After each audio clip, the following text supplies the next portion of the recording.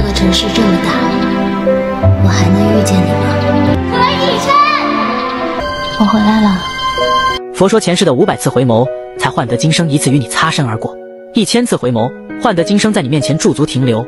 而像何以琛与赵默笙这样，一直徘徊在相遇相知再到别离错过的恋人，你说他们两人的前世会不会什么都没干，而是一直互相在回头呢？这看似不经意间的一次擦肩而过。殊不知，距离他们大学相恋后的不辞而别，转眼已过去七年之久。如今的何以琛已从当年大学校园中那个冷面阎王学霸，摇身变成了业界首屈一指的金牌律师。而刚从香港出差回来，还没来得及稍作休息的他，便在助理的陪同下，回到自己的事务所，着手处理一件棘手的案子。而这个案子是为了两个集团公司打算合并之后的股权分配问题。为了争取合并后的话语权，双方都不惜重金请了业界内数一数二的律师。而另一方的律师，正是当年苦苦追求何以琛却爱而不得的同班同学。你好。老同学，时隔多年，同学间不期而遇的缘分，让另一方的律师代表感到惊讶。何律师当初是我们学校的风云人物，而我只是个无名小卒，恐怕他现在早已经不记得我是谁了。客套寒暄几句之后，何以琛的大学同学徐颖便率先发言，抢占先机，从而让己方集团占得优势。何律师，可以女士优先吗？当然，请。随后便是双方律师代表团。就两方集团在达成合并之前，唇枪舌剑、针尖对麦芒的交涉博弈，自带主角光环的何以琛三言两语之间直中对方集团要害，不费吹灰之力便为己方代表集团取得优势，这让另一方的律师代表虽不甘心，但却输得心服口服。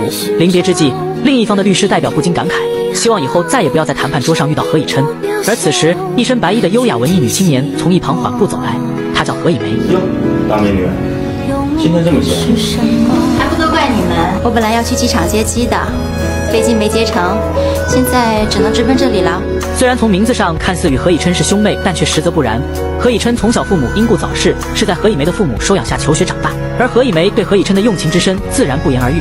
看来赵默笙已经是过去式了，也难怪有个这么漂亮的女主播，和律师移情别恋也是情有可原。徐颖的误解让何以梅听后心里沾沾自喜，可何以琛随后站出来说明，何以梅只是自己的妹妹，随后便找理由而离开。徐颖看着何以琛的背影，不禁对曾经的爱而不得勾起心里一阵酸意。而另一边的赵默笙刚从美国飞往上海的航班下来，与何以琛在机场出口错过之后，便提着行李箱来到先前投递简历的杂志社面试。他是一名出色的摄影师，漂亮的履历让他和主编见面，简单聊过之后便得到录用。之前呢，我们也电话联系过，其实我已经决定录用你了。可随后主编也说出了自己心中的疑问，因为他在国外发展的这么好，为何要回国重新开始自己的事业呢？面对主编的灵魂拷问，赵默笙也低头陷入沉思，最后也只能找理由表示自己是在这个城市里一路求学长大，对这个城。市有别样的感情，而眼下解决工作问题的他，面对的另一大难题便是自己的安身住所了。而主编也随即介绍陆远峰为赵默笙的合作搭档，这个阳光男孩也成了赵默笙的好友。而陆远峰得知他的处境后，随即便把自己一位出国朋友的房子租给赵默笙居住，下了飞机就能把工作和住所都搞定。看来爱笑的女生运气果然不错。不过大家收着点笑，要是笑的时间太长，被人抓起来可千万别来找我。收拾完房间之后，来到窗前的赵默笙望着眼前熟悉又陌生的城市，他心中一直思念的那个人也直接浮现在他的心头。我回来了，你真。而他们阔别七年后的偶然相见，也即将随之而来。时隔多年再遇初恋，你是先紧张的红了脸，还是难过的红了眼？是过往回忆中满满的温暖，还是感叹彼此终究错过的心酸？缘分的转轮让刚刚回国的赵默笙与何以琛不约而同的来到了同一家超市。世界很大。大到一个转身便是人海茫茫中的永不再见，但世界也很小，小到一个回眸，你便在我身边的不远处驻足停留。而经历了数次急坏万千网友的擦肩而过之后，赵默笙还是在不经意间看到了何以琛和陪在他身旁的何以玫。阔别多年未见的赵默笙以为二人已经走到了一起，此刻的赵默笙一脸惆怅，心里难掩失落。而眼下的他似乎唯一能做的便是不再打扰何以琛的生活。而就在此时。他的购物车被其他顾客撞到了一边，赵默笙看到后条件反射，本能的想去抓住他，可还是晚了一步，购物车撞倒了物品，洒落一地，巨大的声响引来了附近人们的目光。何以梅走过来，先是发现了赵默笙，突如其来的碰面让彼此都有些吃惊，因为他心里知晓赵默笙在何以琛心里的位置。而随后何以琛也跟了过来，看见七年未见苦苦找寻的爱人突然出现在自己眼前，何以琛一时错愕难以置信，仿如被雷电击中一般呆站在原地。对视一刻。曾经大学校园之中，两人过往甜蜜的回忆，仿如幻灯片一样在脑中闪过。时间和空气仿佛凝固，被定格在这一瞬间。可奈何回忆的结局是当年的不辞而别。何以玫轻声的提示着何以琛。缓过神的何以琛眼神之中掠过一丝哀伤，因为他在心里还是对当年赵默笙的不辞而别无法释怀。于是故作镇定的何以琛直接选择无视赵默笙的存在，而缓步离开。他一步一步向赵默笙走近，毅然决然的和他擦肩而过。如同两个互不相识的陌生人一般。两人也许在心里曾设想过无数次离别之后再相遇的场景，却不曾想到会是如今这样的场面。赵默笙伤心失落地待在原地，而何以梅也悄悄地跟着何以琛离开。开车行驶在道路上的何以琛一言不发，表面淡定，却抵挡不住赵默笙出现带来的心乱如麻。真怕你会冲过去，可为什么你这样走了，我更难过。回到家中的何以琛，因为刚刚与赵默笙的突然重逢，久久不能平复内心的激动。他脑中一直浮现赵默笙与自己对视的场景，彻夜难眠的思念，竟让何以琛这样的工作狂第一次出现上班迟到的现象，这让他的律所合伙人也忍不住心生好奇。这么沉不住气，这么多年少见啊！而另一边的赵默笙也迎来了他来到杂志社的第一次拍摄任务，而所拍模特是最近国内人气超高的萧晓。陆远峰告知赵默笙，萧晓虽然在国内很火，但是他的脾气比他的知名度还要火爆。而谈话之间，萧晓也随之感到。摘掉墨镜对视的那一刻，赵默笙突然发现，被人称作萧晓的模特，竟是自己的大学同学兼同寝室的上下铺室友，也是曾经大学时代自己最好的朋友。上麦不是要拍照吗？拍吧。萧晓之所以对赵默笙的态度如此冰冷，是因为他也对当年赵默笙的不辞而别心生芥蒂。他记恨赵默笙都没来得及和自己告别，就消失得无影无踪。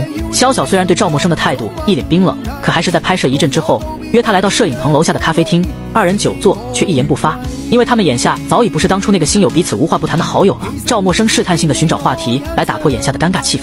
你变了很多。是啊，我变了很多，我还被好朋友抛弃。面对夹杂在其中的误解，导致二人如今变了味道的友情，赵默笙虽然心怀愧疚，却又不知如何解释，他只能低头向萧晓道歉，说明自己当年因为仓促去往国外，所以才没来得及和他告别。这些话你不用跟我说，你应该留着对何以琛讲。我想他并不在意吧。面对眼下爱情和友情的双重打击，赵默笙还能否做回最初的那个自己吗？你刚失踪的那几天，他找你找的都快要发疯了，整个人就像被掏空了一样。他那么高傲的一个人，居然会露出那种表情。此时的赵默笙因为当年的不辞而别，在自己曾经大学同学萧晓的心里，只不过是一个虚情假意的朋友罢了。因为当年的误解，让萧晓对他与赵默笙之间的友情内心感觉错综复杂。他想和赵默笙恢复成原来那样的好朋友，但心里又无法原谅他曾经的不告而别。眼见聊天的气氛愈加沉重，为了缓和气氛，赵默笙便提议换一个轻松一点的话题。怎么了？聊不下去了？换个话题。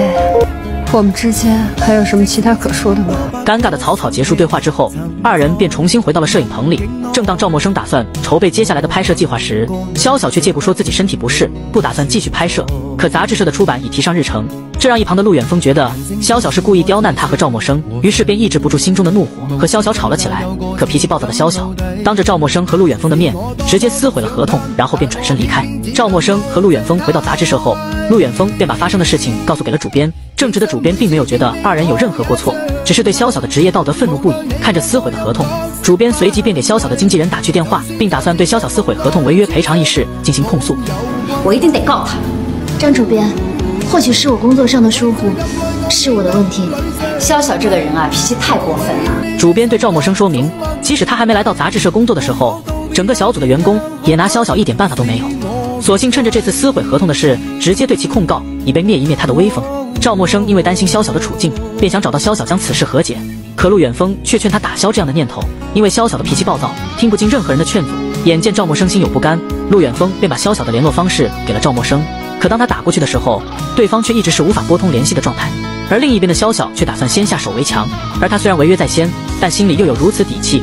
完全仗着自己的代理律师就是业界王牌何以琛，而潇潇此番最直接的目的便是为了给何以琛和赵默笙制造二人重新相遇的机会。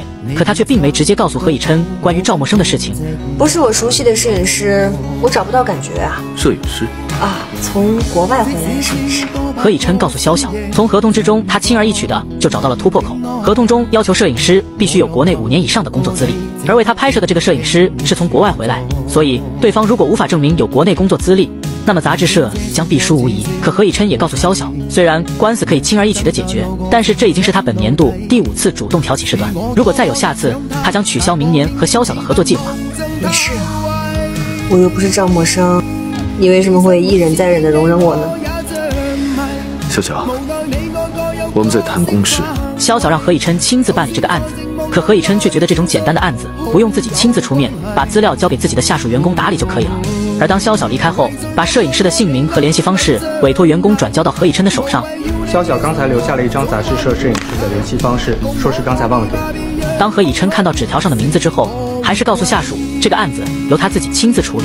由于赵默笙刚刚回国，虽然实力一流，但在国内的工作资历一片空白。杂志社的主编为了能和平的解决此事，只好安抚劝说赵默笙亲自找肖小的律师进行面谈。他虽然知道错误不在赵默笙身上，但为了公司减少不必要的麻烦，赵默笙按照地址来到了袁向和律师事务所。看到律所的名字，他心里瞬时泛起了遐想。袁向和是合伙人的名字吗？这里也有律师姓何吗？而此时的他还并没有意识到，约他前来的律师正是何以琛。联系这位摄影师，告诉他，我希望他能亲自向我证明他的摄影师资历，否则他们将会面临超额赔偿。好。三十岁纯情处男的报复心理有多强？何以琛当得知为萧小拍摄照片的摄影师就是自己当年大学时代的初恋赵默笙时，他推掉了自己身边所有的繁杂事务。而看似一脸淡定的何以琛，此时的心里却早已情难自抑的泛起波澜。而赵默笙拿着主编给的地址，来到律所找寻萧小的律师争取和解。但此时的赵默笙还不知道，约他前来的人正是何以琛。赵默笙缓步走进律所，向前台人员说明了自己的来意。接待人员给何以琛的助理打电话，得知律师都在开会，于是便让他到旁边的咖啡厅内稍作等待。可赵默笙来到咖啡厅后，这一等就直接从白天等到了黑夜。而殊不知，此时的何以琛只是故作镇定地待在自己办公室里翻看文件，而他的目的只是故意把赵默笙晾在一边，因为他也想让赵默笙感受一下等人时的那种煎熬滋味。夜晚的天空突然下起了倾盆大雨，而此时的何以琛坐在咖啡厅外的车里，目不转睛地凝望着坐在咖啡厅内的赵默笙，此刻的内心早已是五味杂陈，夹杂着些许报复的快意。可心底最真实的想法，只是为了这样偷偷凝望着那个让他一直日思夜想的恋人。而此时的助理给何以琛打来电话，何以琛让助理去咖啡厅内取回赵默笙带来的资料，然后让他离开就可以了。助理按照他的吩咐和赵默笙交涉收拾好资料之后，没有带伞的赵默笙只能迎着倾盆大雨跑步快速离开。看着赵默笙离开的身影，何以琛心中对赵默笙的担忧之情正在一点点的埋没他心头上的恨意。回到办公室的何以琛看着赵默笙带来的资料，他试着在心底感知，在分别七年的时间里，赵默笙所见过的人和去过的地方，随后不禁就意触及心头，陷入到过往二人的回忆之中。而此时何以梅的突然到访打断了何以琛的思绪。何以梅调侃他这么晚却还卖力的在律所加班，简直如同不知休息的机器一般，典型的工作狂。而谈话间，何以梅却无意间看到了桌子上带有赵默笙名字的档案袋，何以梅瞬间预感到了一些事情，可却依旧强装淡定。隔天，何以琛找到萧晓，询问他本人的意愿，是否真的要将此事追究到底。看见对方是谁，是有他的。你想太多了，我只是跟你确定一下。我是真的没想告他呀，我就是觉得好玩。萧晓随后直言，自己此次的真实目的，就是为了给他们两人创造再次见面的机会。萧晓好奇地向何以琛询问他们两人再次重逢时的情形。他没借到。为什么？何以琛害怕自己的心思被他人洞穿，说明肖小的这个案子，他是派自己的助理一直跟进，因为此次合同纠纷过于简单清晰化，根本用不到自己出手，而他也没有必要和赵默笙见面。心里永远留着一根刺儿，有意思吗？你究竟想干什么？愿天下有情人终成眷属。小小，我不知道你居然会这么无聊。我就是这么无聊呀。萧小想让他们两人安静地坐下来讲清楚其中的误会，可何以琛却觉得根本就不存在任何误解。萧小早已看穿了何以琛故作坚强的心思，于是便言语暗示何以琛：“哎呀，就是不知道这个赵默笙这次回来什么时候再回去呀？那万一明天走了怎么办呀？”潇潇的话直接触碰了何以琛的心，于是他便借故公司有事而心情烦躁的离开。爱一个人，就是当自己看不到他的时候，就连走过他曾走过的路，心里都是幸福的。何以琛心不在焉的来到超市，漫无目的挑选物品，随后他便情不自禁的来到那天他与赵默笙对视许久的地方。想着那天的场景，他心里瞬时泛起波澜，随后便伤心的离开了。可心情低落的何以琛却没意识到自己的钱包无意间掉在了地上，但是钱包里却一直藏着一张赵默笙的照片，而这个钱包也被超市里的保安捡到了。照片上的人是你吧？虽然和现在差别很大，可我还是一眼就认出来了。照片上是我，但这个钱包确实不是我的。我不能拿一张赵默笙大学时的旧照片，竟成了何以琛与赵默笙在过往分别七年之中，每当思念赵默笙时苦苦支撑的唯一心灵寄托。可却不想钱包无意中掉落在超市里，被保安捡到。保安推测，即使这个钱包不是赵默笙本人的，那也一定是他认识的人，或者是在心底一直喜欢他的人。与其放在超市之中无人认领，倒不如交由他来处置。说不定啊，我还促成了一段美好的姻缘。此时的赵默笙还不知道这个钱包的主人究竟是谁。回到住处以后，赵默笙心事重重地望着钱包，他的第一反应猜测这个钱包该是何以琛的，可是很快他就打消了这个念头。因为回想起两人时隔多年再次偶遇重逢的场景，何以琛对自己那种冷漠决绝的态度，赵默笙单纯的认为现在的自己已经走不到何以琛的心里了。他都不想见我，怎么会是他的？钱包里没有相关的身份证件和银行卡。赵默笙看着钱包夹层里自己大学时的旧照片，不禁触景生情，想起旧事。那时的自己拥有这世上两个最疼爱自己的男人，可现在的自己却心无所依。他拿出照片，随后转过背面，看着照片背面清晰的自己，他瞬间明白了一切，却又忍不住一阵心酸。你是晨阳的孤独，这是以琛的字。一瞬间。二人最初相遇的场景，情不自禁地映入赵默笙的脑海之中。那是他最开心快乐的时光。可奈何时过境迁，物是人非。如今的自己，只有无尽的感慨和阵阵忧伤。人生若只如初见，何事秋风悲画扇？忧伤的赵默笙隔天便打算把钱包归还，可是他却不敢直接面对何以琛。于是只能孤单地坐在隔壁的咖啡厅里，默默注视着律所出入的人群。而此时的咖啡厅里，一个男人正默默注视着赵默笙的怪异举动。他是何以琛的律所合伙人老袁。当赵默笙看到何以琛从律所走出来之后，他才拿起背包来到律所，确认何以琛是在这里工作之后，他便把钱包交给了前台的工作人员，并委托他转交给何以琛，然后便暗自离开了。老袁回来询问前台。得知这个女孩是杂志社的摄影师，此次来是给何律师归还钱包的，这让老袁颇感意外。因为在合伙人老袁的心里，何以琛多年以来一直是典型的不近女色黄金单身汉，于是便把钱包拿走，打算对何以琛调侃一番。何以琛回到律所后，老袁拿着钱包跑来质问，并让他老实交代。何以琛看着自己的钱包颇感意外，因为他不知道自己的钱包怎么会在老袁的手里。老袁把钱包还给了何以琛，并告诉他有个短发女孩曾在咖啡厅里一直偷偷注视着他，直到他离开律所后，人家才敢进来。看着我走了。他才进来，对。老袁开玩笑的挖苦着何以琛，说明刚刚那个女孩一看就是对他用情至深，眼神之中全是满满的爱意。何以琛听了之后，心中不禁泛起波澜。他支开老袁之后，内心却无法平静，因为赵默笙对于他来说是他永远的软肋。回忆之中，那个一身阳光、满脸微笑的女孩，在自己假装坚强的外表之下，却在对视之时，仅一眼便深深住进了自己的心底。那个阳光明媚的夏天，怦然心动的邂逅相遇。注定让二人在彼此心中埋下了一世情缘。你跟着我干什么？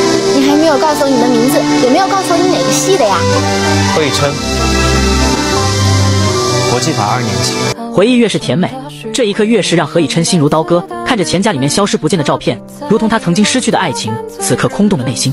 而他也决定去找赵默笙取回钱包里的照片。爱一个人的时候，其实所有冠冕堂皇的理由，都只不过是为了想多见你一眼。何以琛永远是那个说着最绝情的话，却一直心怀深情的男人。在赵默笙不辞而别的七年漫长等待之中，他从未在心底动摇过这份感情。赵小姐，一句刻意保持距离的称呼，强装淡定的表示他此刻心中的满不在乎。何何先生，阔别多年后的正式见面，二人虽然怀揣不变的深情和心中的千言万语，但却都呆呆的愣在原地。刻骨铭心的过往回忆充斥着二人的心底，让疼痛感如鲠在喉。赵默笙为了缓解尴尬气氛，想给何以琛倒一杯咖啡，可何以琛却假装自己时间紧迫而拒绝。你来找我有什么事情吗？这里面原来有一张照片，赵小姐知道下落。赵默笙低头不敢与何以琛对视，如同多年之前他在准备说谎的时候不敢看何以琛的眼睛一般。他表示自己并未见过照片，可何以琛却反问赵默笙：如果里面没有照片，他又怎么会知道这个钱包是他的？面对何以琛的质问。赵默笙像个犯错的孩子，低头愣在原地，默不作声。此刻的何以琛看着他的样子，也是心疼的同时有些无可奈何。可以把照片还给我吗？照片上的人是我，为什么要还我劝你不要和一个律师讨论物品所有权的问题。何以琛的这句话让赵默笙心头一震，因为这是曾经大学二人嬉笑之时他对自己说过的话。他看着面前的何以琛，却不知道眼前的他是否还是曾经当年的那个人。赵默笙告诉何以琛，照片在自己住的地方，现在并不在身边。何以琛让他明天带来，自己会再来取。你要我照片做什么？何以琛被赵默笙的突然发问，竟一时不知如何作答。他不敢吐露自己真实的心声，心软嘴硬的何以琛，最后只能用冷酷无情的言语来维持心里此刻的自尊。也许我想放在我身边，时时提醒我那段愚蠢的过去。说完之后，何以琛便直接离开。赵默笙叫住何以琛，并告诉他照片自己会明天给他送去律所。谢谢你的合作，明天见。下班之后的赵默笙一个人孤单的走在路上，他驻足站在街边的玻璃窗前，看着光线折射之中的自己，却突然想起了何以琛的那句话：“是愚蠢的过去吗？”伴随着记忆的车道穿梭回到多年之前，那个阳光明媚的夏天，一个承载着青春和理想的大学校园，迎来了一群不负韶华的莘莘学子。赵默笙坐着父亲的豪车踏入校园，可他却并未让父亲送到宿舍门口，因为他不想让其他同学看来她是一个爱慕虚荣的富家女。她提着拉杆箱，带着相机，步行穿梭于被绿色覆盖、承载着肆意青春的大学校园，满脸微笑的迎接属于她的大学生活。而就在此时，一位身穿白色衬衫、坐在树下、神情专注看书的俊朗大男孩，顿时吸引了赵默笙的全部注意力。阳光透过树叶缝隙，细细地洒在他的身上，而他也一下子住进了赵默笙的心里。他急忙拿起相机，对着让他一见钟情、心动不已的大男孩按下相机快门的那一刻，也在冥冥之中定格了他命中的一世情缘。赵默笙的举动被何以琛察觉，对视一刻，那个白衣少年文雅俊朗的面容，仅一眼便让赵默笙彻底沦陷。何以琛走到赵默笙的面前，而那时性格开朗跳脱的赵默笙，却对何以琛率先直接来了一句小女生的调侃：“我在这好好拍风景，你怎么跑我画面里来了？”何以琛微笑的看了一眼赵默笙，然后便一言不发的离开了。也是从这一刻起，法学系校草何以琛的身后，永远有个小跟班不离不弃的默默相随。你跟着我干什么？你还没有告诉我你的名字，也没有告诉我你哪个系的呀？我为什么告诉你啊？那我不然怎么把照片给你啊？不用了。古灵精怪的赵默笙言语中暗示何以琛，如果他不告诉自己这些信息，他就把洗出来的照片贴满学校。为了顾及自己的名声，何以琛只好把自己的名字告诉给他。何以琛，国际法二年级。而二人之间的缘分也从此刻正式拉开了帷幕。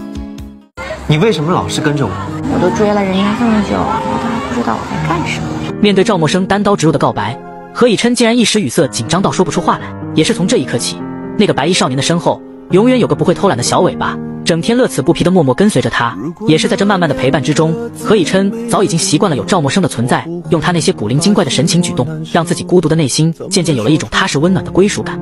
在恋爱当中，习惯是个可怕的东西，它可能会让我们在短时间内就习惯了有人陪伴。但当有人离开时，可能却穷尽一生都无法释怀。而不管是在校园的路上，还是学校的食堂，赵默笙总会有意无意的制造与何以琛相遇的场景。少言寡语的何以琛看着坐在对面喋喋不休的赵默笙，口是心非的他却表现得一脸不耐烦。可在他的心里，却正在一点点习惯这个满脸微笑的女孩出现在他的生活当中。为了走进何以琛的世界，不爱动脑的赵默笙甚至在大学里选修了最让他头疼的法律课程。每当想到做一件事情之后，也许就会和心爱的男生走得更近一些时，他内心就有停不下来的动力。而这些暖暖的付出，正一点点的融化着何以琛的心。只是外表冷漠的何以琛，从不敢表现出他对赵默笙的在乎。而当他一个人在宿舍的时候，时常会拿出赵默笙初见时为他拍的那张照片，也会情不自禁的想起那个让他怦然心动的女孩和与他对视的那一瞬间。因为在直男何以琛的心里，只一眼便想爱你万年的决定，早已偷偷的扎根在他心底。随着大学社团活动的报名开始，法学系的社团报名处早已因为校草何以琛的存在，出现了人山人海的局面。这又怎么能少得了赵默笙的身影？可在社团人员加入审核的时候，赵默笙递交的申请却遭到了暗恋何以琛的徐颖强烈反对。他以赵默笙是新生且所学专业与法律不对口为由，想拒之门外。可社长却觉得这个女生会摄影，因为每年法学系都会有辩论大赛，需要有人拍照片，正好可以将赵默笙的这个优势利用起来。而徐颖询问何以琛的意见，何以琛也为赵默笙投了赞成票。自古情敌相见分外眼红，深知赵默笙心思的徐颖，在他入社当天便直接给赵默笙来了一个下马威。徐颖告诉赵默笙，他知道他来社团的目的是为了何以琛，但社团内并非谈情说爱的地方。师姐，我明白了，所以我一定会好好在社内做事，社外追人的。赵默笙的话差点把徐颖气得当场口吐白沫，而他俏皮的性格和勇敢追求何以琛的事情，也很快传遍了校园。而公报私仇的徐颖，也把赵默笙当成了自己的出气筒和打杂的人手。跑腿帮整个社团的人员买饭，充当立功为社团搬水。这个富家女以前从未做过的事情，为了何以琛，她现在都心甘情愿地忙活着，并且乐此不疲。知道赵默笙感冒了，何以琛也偷偷地把药放在了桌上，然后默默地离开。这些看似不经意的关心，也把两个人的内心拉得越来越近。那个新人，赵默笙已经有多日没有来社团报道了。徐颖特意把这个消息告诉社长和何以琛，并告诉他们这样的新人做事很不定性，没有毅力。何以琛听到这样的消息，心情烦忧，随后便生气的找理由而离开了。何以琛去律所实习的路上，满脑袋都是之前与赵默笙相见时的场景。喜欢上一个人的时候，那份爱便藏在想起他时嘴角的那一抹微笑，更会在内心深处慢慢烫伤烙印，让一生都挥之不去。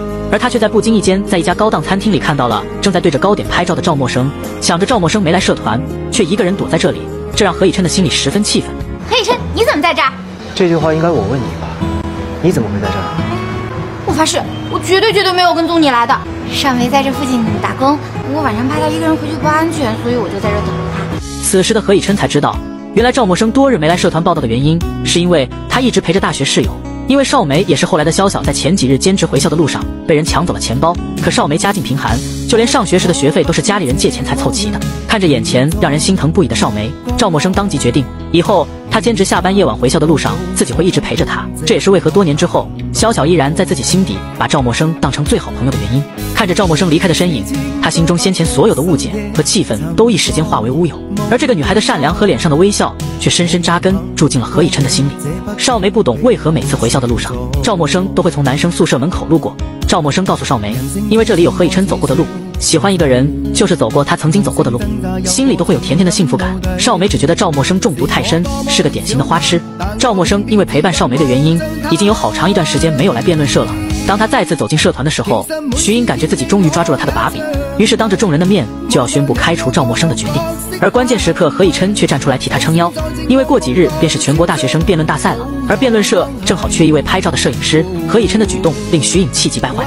走出社团之后，赵默笙感谢何以琛刚刚替自己解围，并承诺会在全国辩论大赛之时把他拍得更加帅气。渐渐的，二人之间也开始走得越来越近。在去参加全国大学生辩论赛的路上，何以琛还主动为赵默笙占了自己旁边的座位。可是到达目的地之后，下了车的何以琛却显得状态很不好。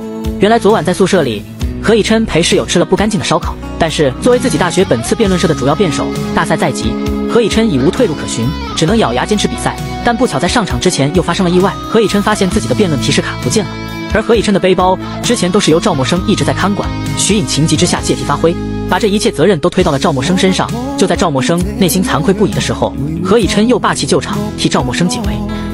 一个还需要提示卡才能赢的辩手。不会是一个合格的辩手。伴随着何以琛的一句霸气宣言，全国大学生辩论赛的决赛也正式开始。来到现场之后，何以琛简练明晰的辩词，引得全场观众掌声连连。可是到了辩论赛最后陈词总结之时，何以琛的肚子却突然起了反应。看到此情形，大家的心都跟着紧张的提到了嗓子眼。不过好在何以琛迅速调整好了自己的状态，并一鼓作气出色的完成了最后总结陈词。而他的出色发挥也再一次为学校摘得桂冠，甚至让对方的漂亮女辩手直接化身何以琛的小迷妹，对何以琛一番深情告白。何以琛被这突如其来的一幕搞得有点蒙圈，不知所措。这时他看到了不远处的赵默笙，于是便示意让他过来替自己解围。可赵默笙却一脸微笑，无动于衷，在自己心底打起了小算盘。直到女孩被直男何以琛果断拒绝后，赵默笙才笑嘻嘻地跑了过来。何以琛询问赵默笙刚才为什么不过来替自己解围，赵默笙却不怀好意地告诉何以琛，赶跑情敌这些事情是需要有名分的。名分？你懂的。何以琛此时才反应过来赵默笙的小心思，而随后赵默笙从自己的背包里拿出给何以琛买的药。赵默笙无微不至的关心，让何以琛的心里感到无限温暖。而望着自己面前的女孩，何以琛的心里也暗暗做出了一个决定：如果说三年后你注定是我女朋友，我何不提早行使自己的权利呢？伴随着法学系才子何以琛特有的表白方式，赵默笙的身份也迎来了转正，成了何以琛的正牌女友。这让他一连几天都兴奋的难以置信。要不是有地球引力，我看他是要开心的跳出银河系的。而二人也正式开启了他们形影不离的撒狗粮模式。只不过情窦初开的赵默笙俨然被这突如其来的幸福搞得有些手足无措。从之前叽叽喳喳的调皮女，秒变腼腆害羞的乖乖女。而不管是在大学的图书馆里，还是被校园夜晚灯光铺满的悠长小路上，都能看到二人的甜蜜足迹。我一定会做一个最好的女朋友的，听话就好。我一定会特别听话的。而何以琛也早就习惯了有赵默笙的陪伴。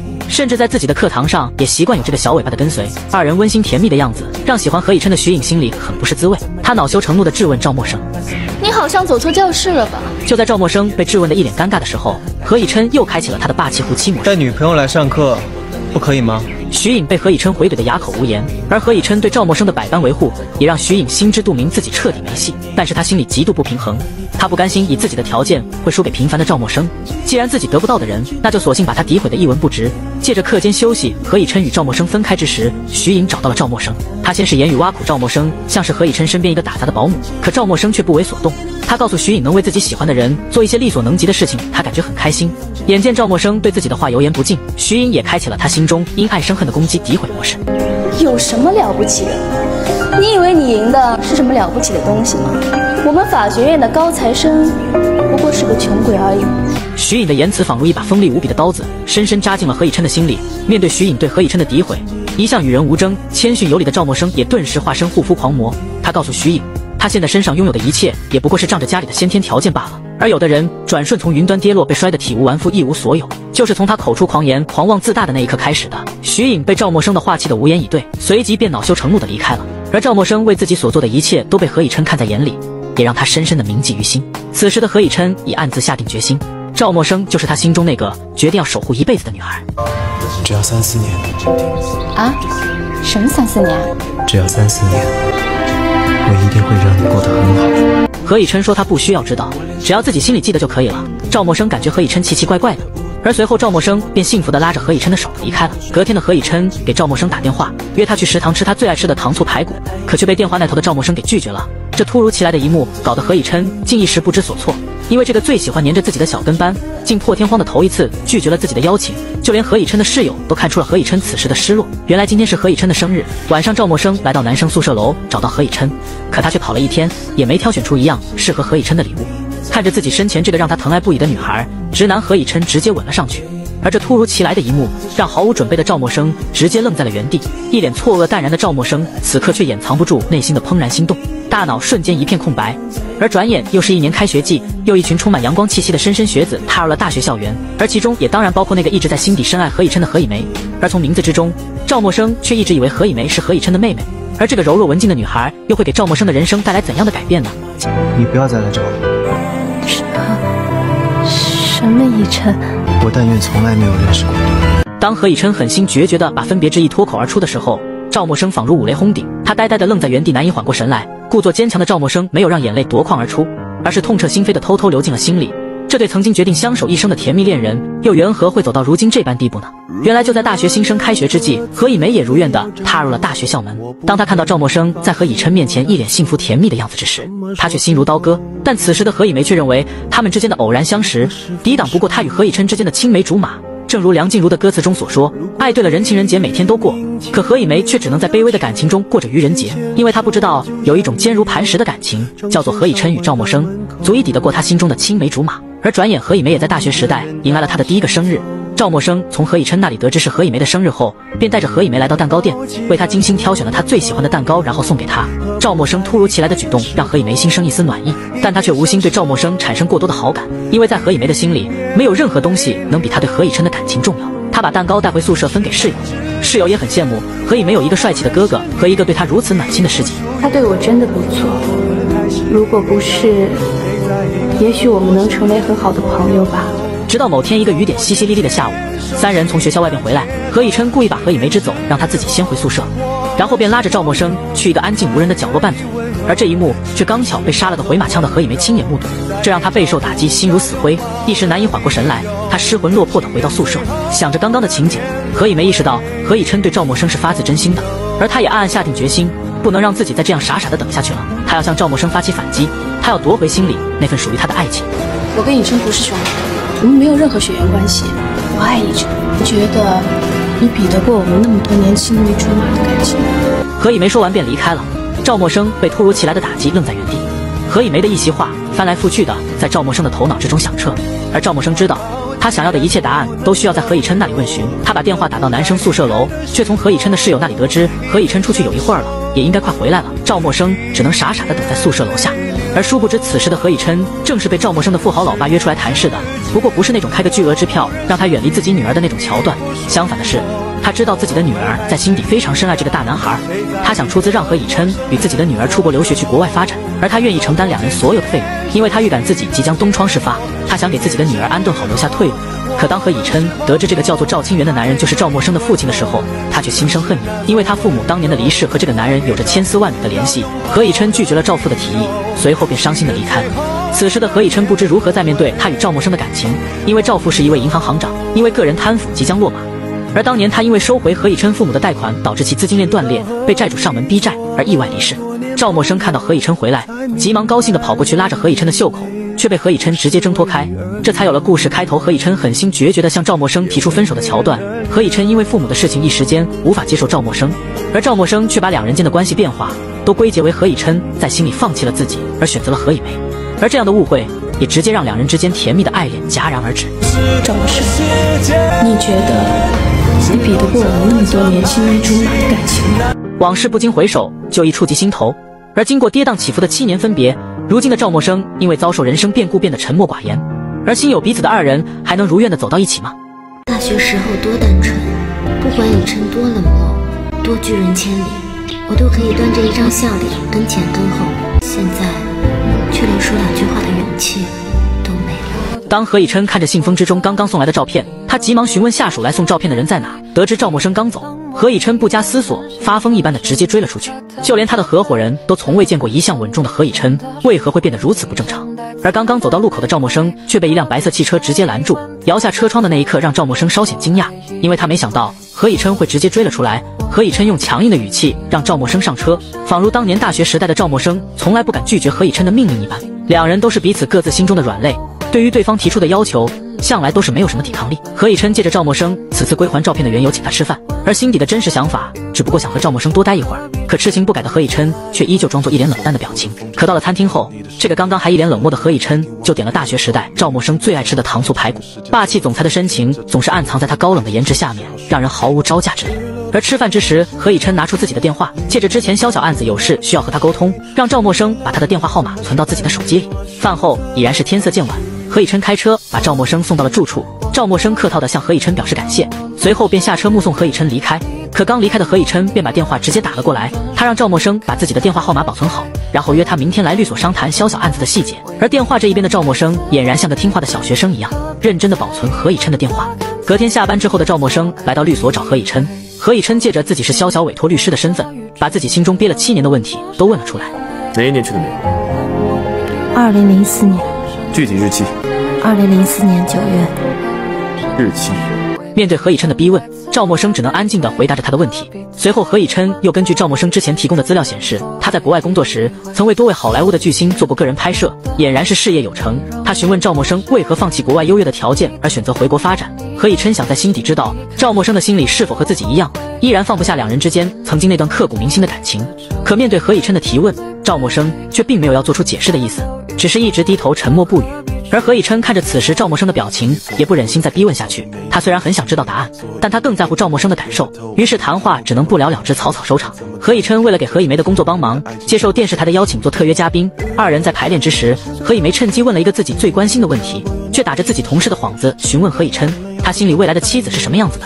可何以琛却不加思索的回答：“你知道的。”听到这样的答案，何以梅顿时难掩心中的失落之情。你决定。还是他吗？何以琛没有继续回答何以梅的问题。不过从他沉默不语的态度之中，何以梅却已然知晓了那个让他伤心不已的答案。可心中深爱何以琛的他，却不想就此轻易放弃。两人吃饭之时，何以梅依旧心事重重的样子。一定非他不可吗？何以琛深知何以梅心不在焉的原因，但是他也不好多说什么，因为在他的心底，他一直把何以梅看作是他的亲妹妹一般。尴尬的吃过饭后。何以琛从钱包里拿钱买单，然后便去了洗手间，而服务生随后把找回的零钱送过来。何以梅想把零钱装进钱包，却在打开钱包之时，无意间看到了夹在钱包内的照片，这让他惊讶的同时，心中涌起无限哀伤，因为他深知，虽然这么多年过去了，但是赵默笙依旧住在何以琛的心里，从未离开片刻。看出何以梅的心事，直男何以琛也不想让他一直沉浸在自我折磨的痛苦之中。而他也决定把自己心里的真实想法直截了当的告诉一直把他当做亲妹妹的何以梅。而何以梅真的能对心中深藏多年的感情彻底释怀吗？你以后会明白，如果世界上曾经有那个人出现过，其他人都会变成将就。我不愿意将就。爱情如人饮水，冷暖自知。伴随着何以琛直言不讳的吐露出自己的心声，何以梅瞬间明白了一切。她曾自信的认为她与何以琛青梅竹马的感情抵得过她与赵默笙的一见钟情，但在这一刻。他曾经所有的期望和幻想都瞬间灰飞烟灭，伤心绝望的何以梅只能含泪无奈的离开。而隔天，身为模特的肖小就在网络上被一场不雅照片门事件推上了舆论的风口浪尖。作为曾经大学的铁杆闺蜜，赵默笙深知肖小的人品，所以她对事件的真实性自然不信。她仔细查看网络图片，凭借多年摄影和与照片打交道的经验，她立马察觉到其中图片是被合成的蛛丝马迹。而陆远峰也同意赵默笙的看法，只不过要想推翻网络上的舆论，必须找到原始图片，两者进行比对，才能让流言蜚语不攻自破。赵默笙因为担心肖小的处境，整日心不在焉，而舆论却还在持续发酵。而他在吃饭时，无意中听闻隔壁桌的女士说，这些照片和前些年某论坛上的图片相似，这让他瞬间察觉到了一些端倪。而他在费了一番周折之后，也如愿找到了原始素材。可肖小因为自己的处境，电话整日关机，不敢再出现在公众场合，联系不到肖小的赵默笙只能给他的代理律师何以琛打去电话。得知肖小一直躲在何以琛的律所里，赵默笙也决定把这些原始图片作为证据，马上亲自送过去。而陆远峰也在马不停蹄的帮忙在论坛回帖，替肖小解围。得知赵默笙要来，何以琛便早早的等在门口。当看到赵默笙匆忙跑来的时候，对视一刻，却掩藏不住两人彼此心中的那份深情。何以琛把赵默笙带到自己的办公室，肖晓的经纪人看到原始图片后，顿时感觉是赵默笙的出手帮忙才解救了身处困境的肖晓，而何以琛也觉得有了这些证据，自然可以还肖晓清白。他也决定马上起草相关文件来控诉诋毁肖晓的相关杂志，进行名誉恢复和相关赔偿。眼见事情真相即将揭晓，肖晓的名誉也即将恢复，可他却依旧高兴不起来，因为在他的心底还有一直让他放不下的那份友情。我要告你们杂志社，害你差点丢了工作，你都不恨我吗？这些都不是重要的事情。如果你不走，我可能不会变成现在这个样子。萧晓说明他在大学里只有一个最好的朋友，可在他最难过的时候，那个朋友却没有陪在自己身边。说完之后，萧晓便跑了出去。可他们却不知赵默生在国外受的苦楚，孤苦伶仃的境遇又何曾有人理解？可是那些年的变故，是他轻易不敢与人提起的伤疤，而正是他心中对何以琛的那份深爱，才让他在那样孤独无助的境遇中一点点的支撑、坚持走过来。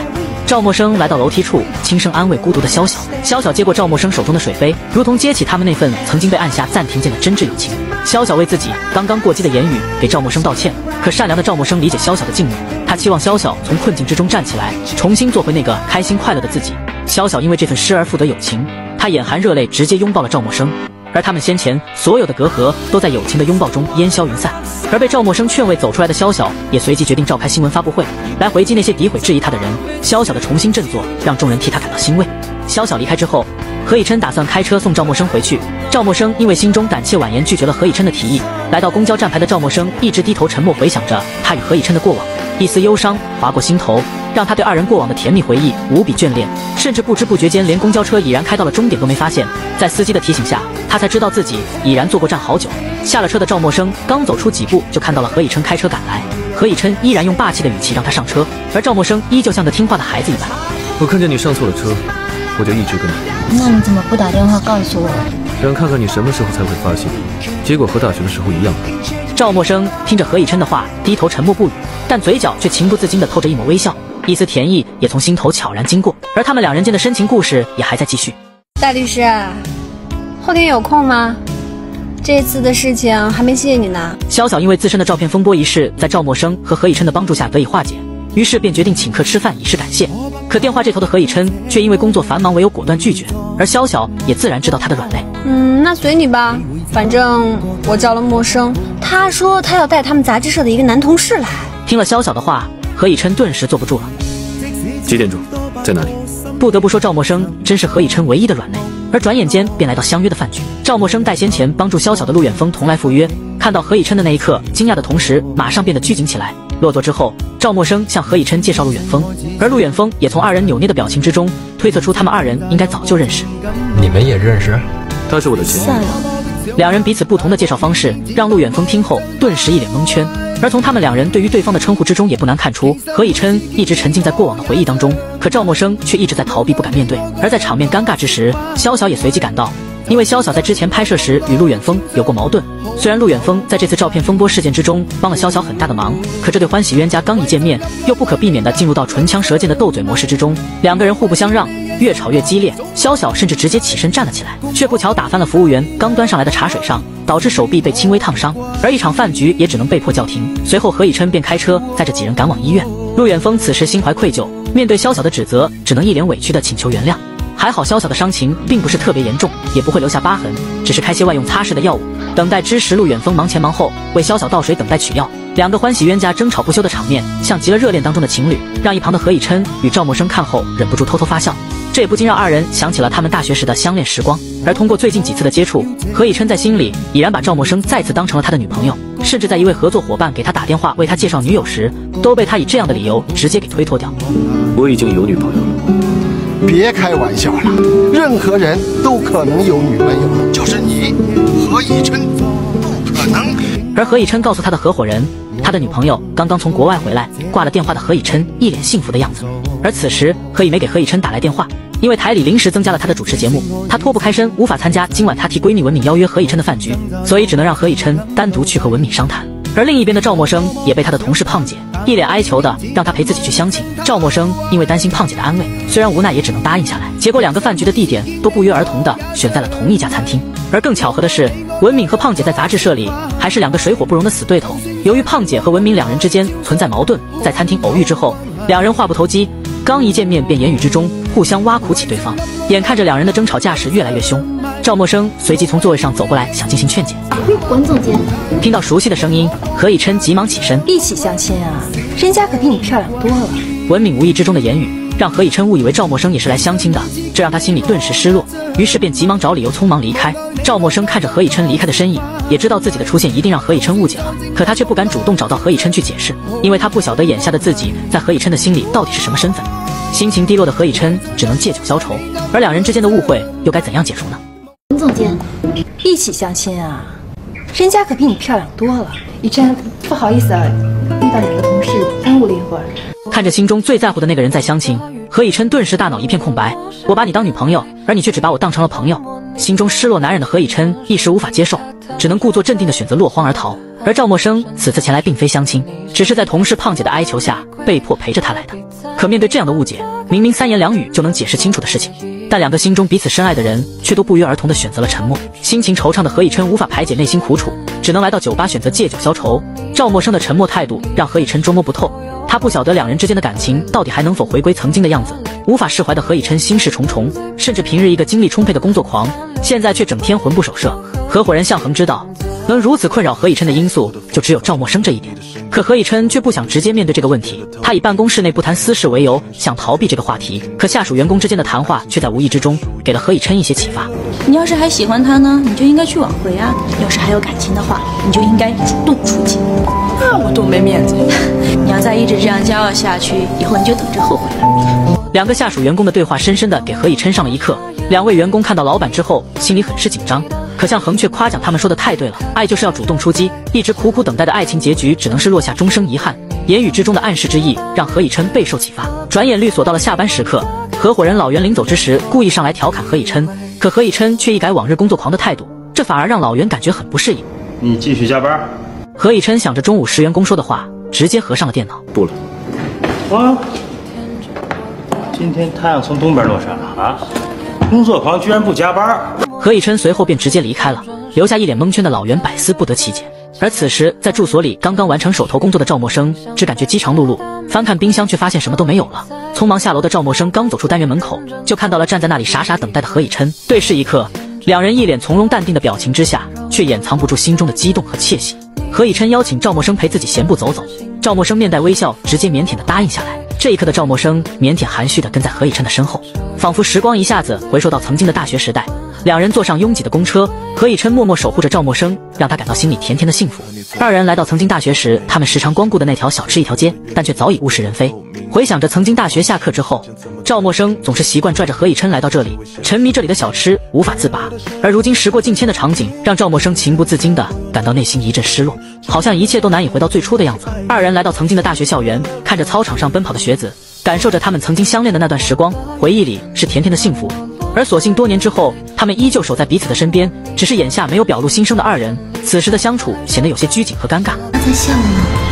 终于不是冷着脸，把我当做一个陌生人。看着身旁一脸微笑、陷入到回忆之中的何以琛，赵默笙开心的像个情窦初开的少女。因为不自信的她，似乎在这一刻才意识到，在何以琛的心里一直有她的位置存在。何以琛送赵默笙回到了住处，分别之际，何以琛给他心中深爱的赵默笙送上甜蜜深情的一吻，以告示着他从未改变的心意。赵默笙深情地望着何以琛，仿佛感觉曾经的那个男孩又回到了自己的身边。而二人之间的情感之路，真的能一帆风顺吗？上次你是陪人相亲，嗯以后不要再做这么蠢的事情了。什么？陪人相亲。一场让何以琛失魂落魄多日的误解，终于得以解除，这让他顿时如释重负。原来就在刚刚，赵默笙工作的杂志社被几个流氓突然找上门闹事，而矛头是奔着何以梅的闺蜜文敏而来。因为她的老公欠下了债务，却没有偿还能力。而在互相纠缠推搡之中，杂志社的胖姐也意外受伤。得到消息的何以梅给何以琛打来电话，因为文敏是何以梅最好的闺蜜，她想让何以琛帮忙处理文敏和她老公的离婚问题。何以梅告知杂志社的人也被误伤去了医院，这让何以琛瞬时担心起赵默笙来。他急忙给赵默笙打去电话，却不巧赵默笙的电话落在了公司。出于心中的挂念，他急忙赶往医院。当看到赵默笙并无大碍的时候，他才放下心中的担忧。因为何以梅的嘱托，何以琛先是找到文敏商谈她和老公的离婚问题，而随后下楼的时候，却无意中看到赵默笙正在和一位医生交谈着。而这位医生也正是上次赵默笙陪胖姐相亲时认识的。医生向赵默笙表露着他的仰慕之情，并想邀请赵默笙下班后一起吃饭。不过他的请求都被赵默笙委婉的拒绝了。顾小姐也早就说了，你上次相亲是陪她去的，但是我始终不死心。遭到拒绝的医生只能无奈失望的离开，而这一切都被何以琛看在了眼里，这让他压抑许久的心情一下子烟消云散。安顿好胖姐之后，赵默笙便在何以琛的陪同下离开医院，却不巧在医院的走廊拐角处险些被推车撞到。情急之下，何以琛急忙护住赵默笙。你小心一点啊，照顾好你女朋友。抱歉。在医护人员的助攻下，何以琛鼓起勇气伸出自己的手，而赵默笙也随即放下心中的胆怯和自卑，两只手紧紧地握在了一起。而这温馨甜蜜的一幕，却恰巧被赶来医院看望文敏的何以梅撞见，目睹着两人亲密无间的关系，何以梅内心顿时如遭暴击。他虽然从未拥有过何以琛的感情，但此时的心里却还是有种痛彻心扉失去的感觉。而痴情男何以琛也彻底开启了他的霸气宠妻模式，甜蜜的陪赵默笙吃饭，更是抽出时间来到杂志社看赵默笙认真工作的样子。而二人的感情也在不知不觉间急速升温，仿佛回到曾经大学时代的样子。被爱情滋润的何以琛俨然活成了一个阳光大男孩。平日在律所一脸严肃、不苟言笑的他，竟然破天荒第一次主动给律所的同事订起了工作餐和下午茶，这让合伙人老袁听后差点惊掉下巴。甚至认为食物里面是不是已经被何以琛投毒了？不会投毒吧？对，等一下呢，还有港式点心。何以琛的突然改变让大家一时百思不得其解。而隔天下了班的赵默笙返回杂志社领取落下的物品，却遇到了偷偷收拾东西准备离开的文敏。文敏担心自己的存在会给杂志社带来不好的影响，于是决定不声不响的告别。赵默笙不想他就此离开杂志社，于是安慰文敏，表示杂志社的同事明白他的处境，大家都会一起帮他渡过难关的。文敏听了赵默笙的话，心中不禁涌起一阵暖意。他为自己先前的过错给赵默笙道歉，但他去意已决，回首着失败的婚姻，内心孤独的文敏不禁对赵默笙倾吐着心中感慨：过去的美好就留在过去吧，不然会发现彼此已经不是曾经那个人了。文敏的一席话不禁让他想起了他和何以琛之间的感情，看着文敏离开的身影，这让赵默笙原本就卑微的心里顿时衍生了退意，因为他想起了自己在国外曾有过一段婚姻。他一时感觉现在的自己配不上那个苦苦等待自己的何以琛。看着何以琛打来的电话，他的内心顿时错综复杂。我不是不想回头，我一个离过婚的女人，怎么配得上他？过去的美好就留在过去吧，不要再去破坏它，不然会发现彼此已经不是曾经那个人了。文敏离开杂志社前，无意中说的一番话，给赵默笙的心里带来很大的触动，因为这让他立马想起了他和何以琛之间的感情。他在国外也曾有过一段婚姻，他不知道眼下的自己是否还能配得上那个苦苦等待自己七年的痴情男孩。赵默笙一个人孤单的站在那里，看着手机上何以琛打来的电话，却不敢接听。而一连几天面对何以琛的邀约，赵默笙都借故找理由推脱拒绝。突然反常的举动让何以琛也有些摸不着头脑。直到一天晚上，何以琛在合伙人老袁和向恒的逼迫下。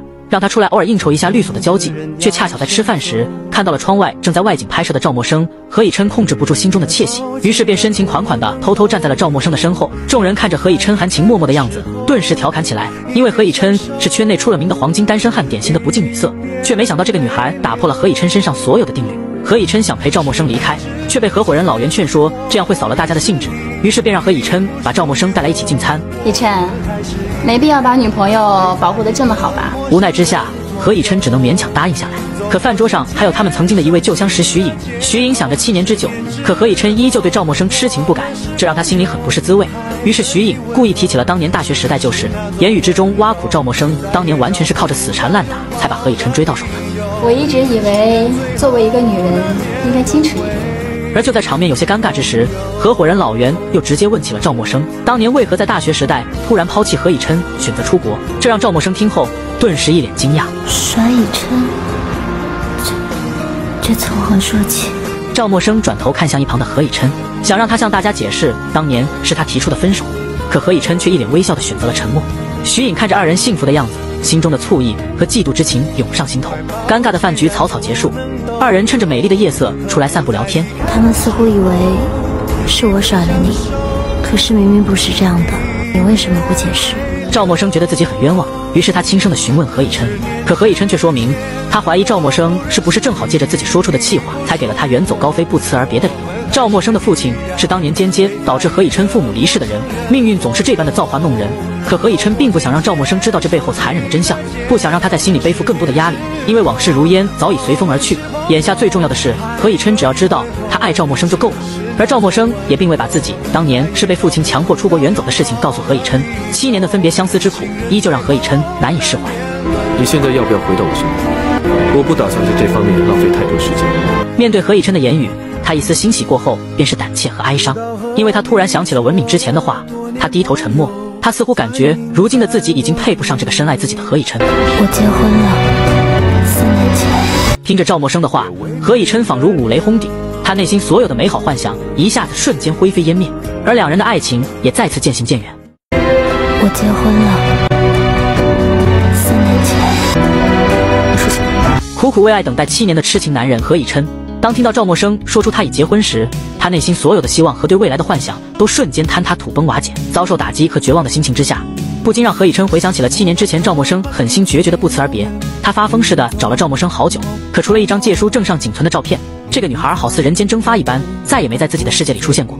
而另一边的赵默笙也在父亲的哄骗下，强行把她送到了去往国外的飞机上。而殊不知机场一别，竟是父女之间彻头彻尾的阴阳两隔。赵父畏罪自杀，却给赵默笙留了一大笔钱，而赵默笙却将父亲留给他的财产全部捐了出去。那是他人生最煎熬、最难过的一段时间。他失去了疼爱他的父亲和大学里决定相守一生的恋人，一个衣食无忧的富家千金，一夜之间变得一无所有，甚至连自己生病都没钱医治。还好他遇到一个善良的房东娟姐，在那段难熬的日子里陪伴照顾着他，让他在孤苦伶仃的异国他乡感受着唯一的温暖。娟姐理解他不想动用父亲拿命换来的钱，可却责备他把自己辛苦打工赚来的钱都捐给了一位留学生。可赵默笙却解释说，这个叫英辉的留学生也是来自他的大学母校，这让他想起了他的男朋友，所以才决定力所能及的帮一帮他。而殊不知，正是他的这一次无心善举，给他的生活带来了另一段姻缘。赵默笙靠着勤工俭学维持着生计，而每当他感觉自己快挺不住的时候，那个一身洒满阳光的男孩就成了他咬紧牙关坚持下去的唯一动力。转眼三年过后。又是阖家团圆的除夕夜，赵默笙陪房东娟姐一起包饺子，感受节日的温馨。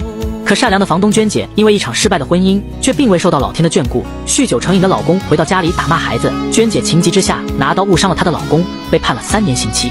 她担心自己患有自闭症的孩子会继续受到老公的折磨，于是只能苦苦哀求赵默笙请她帮忙抚养孩子三年。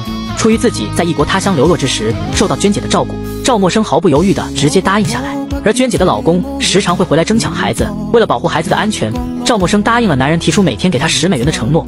可眼下自己的日子也是入不敷出，走投无路之际，他尝试着给曾经捐款的那位留学生殷辉写信，请求如果他已渡过难关，能否帮助一下如今的自己。两人虽然从未谋面，赵默笙也不知道自己寄出的信件会不会石沉大海，但让他想不到的是，他很快就得到了回应，而且当初被他资助的殷辉，如今早已飞黄腾达。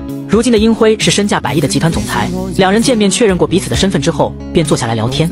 我叫英辉，你或许应该听说过英索网络吧？当然，英索网络是互联网的传奇。是你吗？是。殷辉看着面前腼腆的赵默笙，早已感知到他内心的善良。他告知赵默笙，如果不是当初因为有他的资助，帮他挺过了那段最难熬的日子，他的软件早已被人收购，也不会成就今天的自己。他向赵默笙承诺。他提出的一切经济条件，他都可以满足。可赵默笙对应辉的提议不为所动，只想拿回曾经的五百美元，帮自己度过眼下难关。或许你愿意跟我详细描述一下你的困境。赵默笙把抚养房东孩子的事情告知了英辉，而他的善良深深触动了这个男人。英辉眼含深情地望着赵默笙，虽然只是初次见面，但是在心底他却对赵默笙有种莫名的好感。你不要担心，我会帮你。如果你确定想背上这个包袱的话。我倒有个提议，你可以找一个可信任、符合收养条件的人家结婚，或许我可以帮忙。霸气总裁英辉的提议太过突然，让毫无准备的赵默笙听后惊讶的愣在原地。缓过神的赵默笙感激英辉的同时，连忙推脱：“不行不行，这怎么可以？”而应辉也让他好好考虑一下，不必急于答复自己。可随后发生的事情也并未像赵默笙预想的那样顺利。房东娟姐的老公因为酗酒之后严重打骂孩子，被邻居打电话报警拘留，并取消了他作为父亲的监护权。而因为赵默笙不符合收养条件，随后娟姐的孩子小佳只能被迫送往福利院。赵默笙出于自己对房东娟姐的承诺，只要有空闲时间便会来福利院看望小佳。本以为这样平常的日子挺过三年，等到娟姐刑满释放即可。可奈何没过几天就出了变数。小佳因为患有自闭症，被福利院里的其他孩子欺负，送去了医院。医生也告诉赵默笙，自闭症的孩子不擅长沟通，不建议继续留在福利院里。走投无路的赵默笙为了收养小佳，只能无奈选择应辉先前的提议，和他协议结婚。接到电话的英辉便立即让自己的律师起草文书，着手办理。应辉让律师在婚前协议合同中注明，赵默笙在整个婚姻关系当中得不到任何经济补偿。律师感叹，没有哪个女人会同意。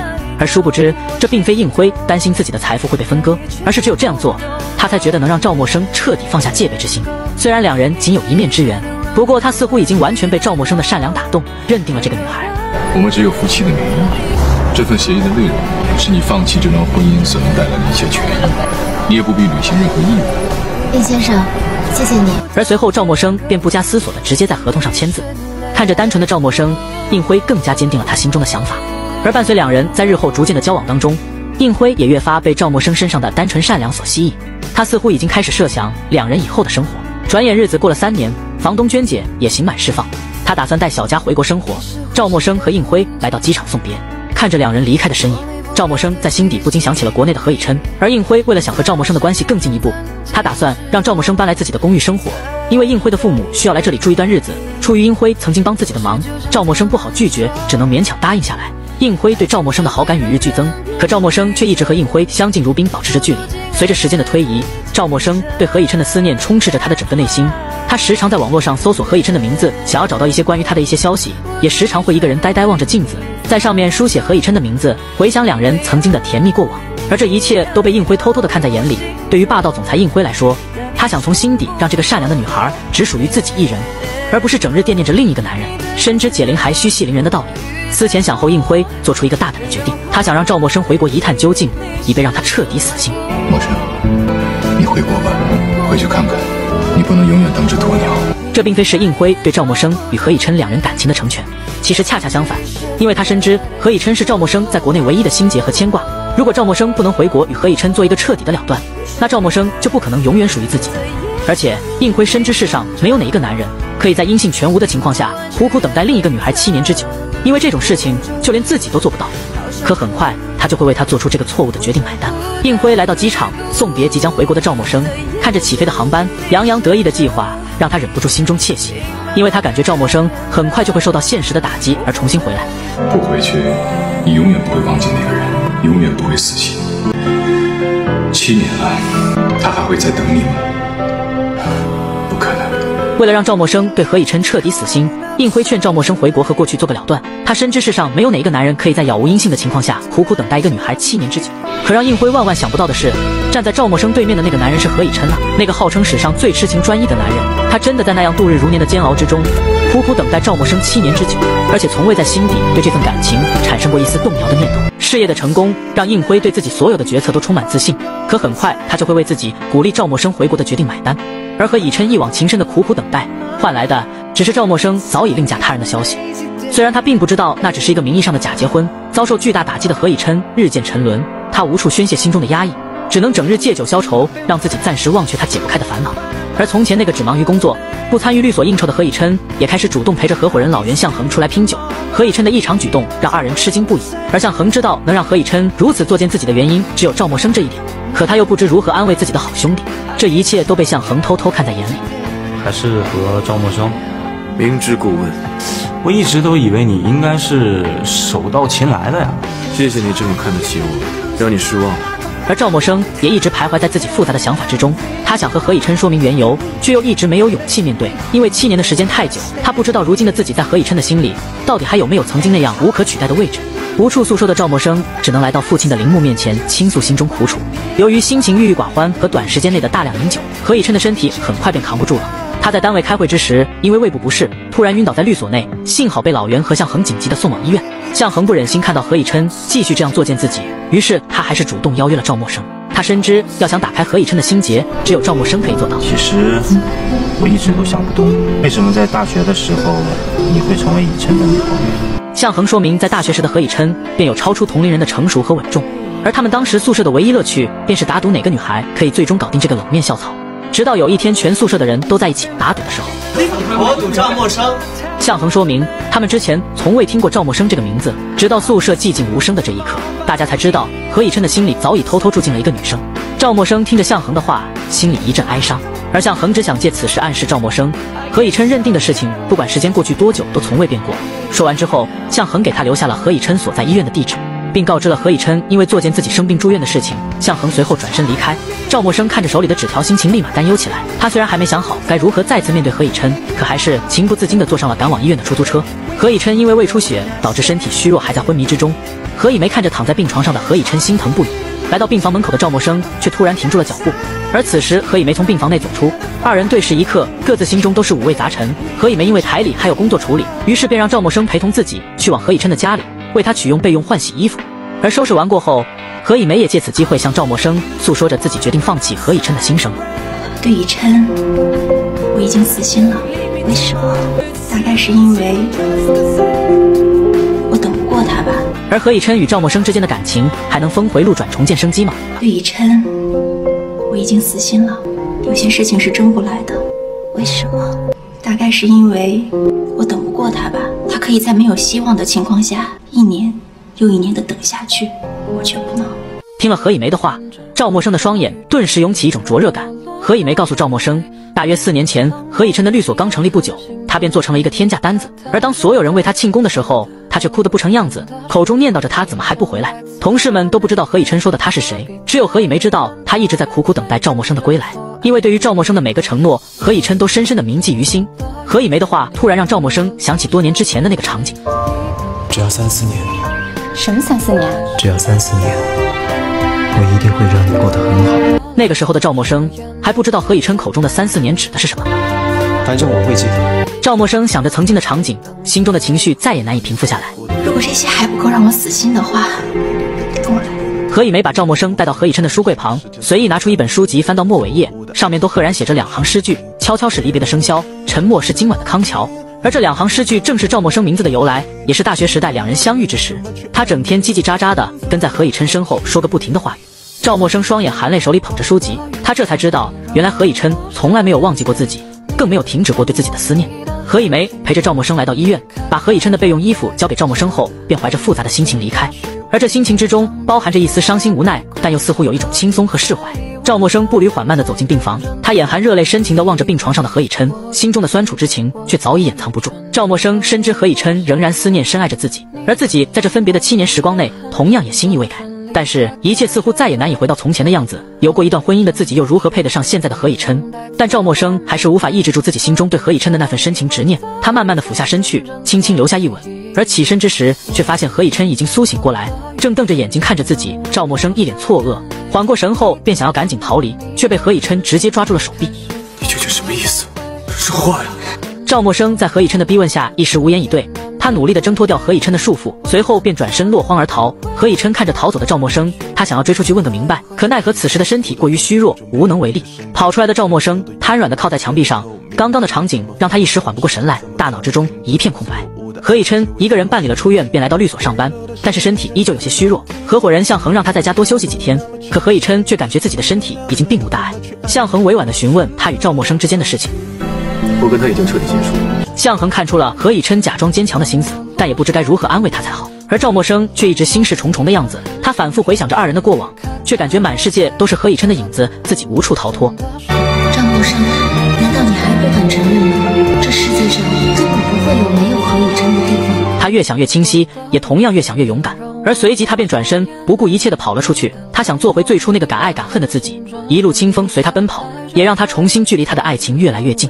何以琛下班开车回到家里，上楼走出电梯的那一刻，他的内心却突然翻涌起来，因为他又看到了那个熟悉的脸庞。我离婚了。你凭什么认为我何以琛会要一个离过婚的女人？我跟他不是你想的那样。你不必跟我讲你跟你前夫之间的种种。痴情男何以琛苦苦等待赵默笙七年，却只等来赵默笙另嫁他人的消息，这让他心里无法接受。而赵默笙因为在国外一场名义上的假结婚，心生自卑。他感觉如今的自己已经配不上何以琛了，他也打算把这份深爱珍藏在心底。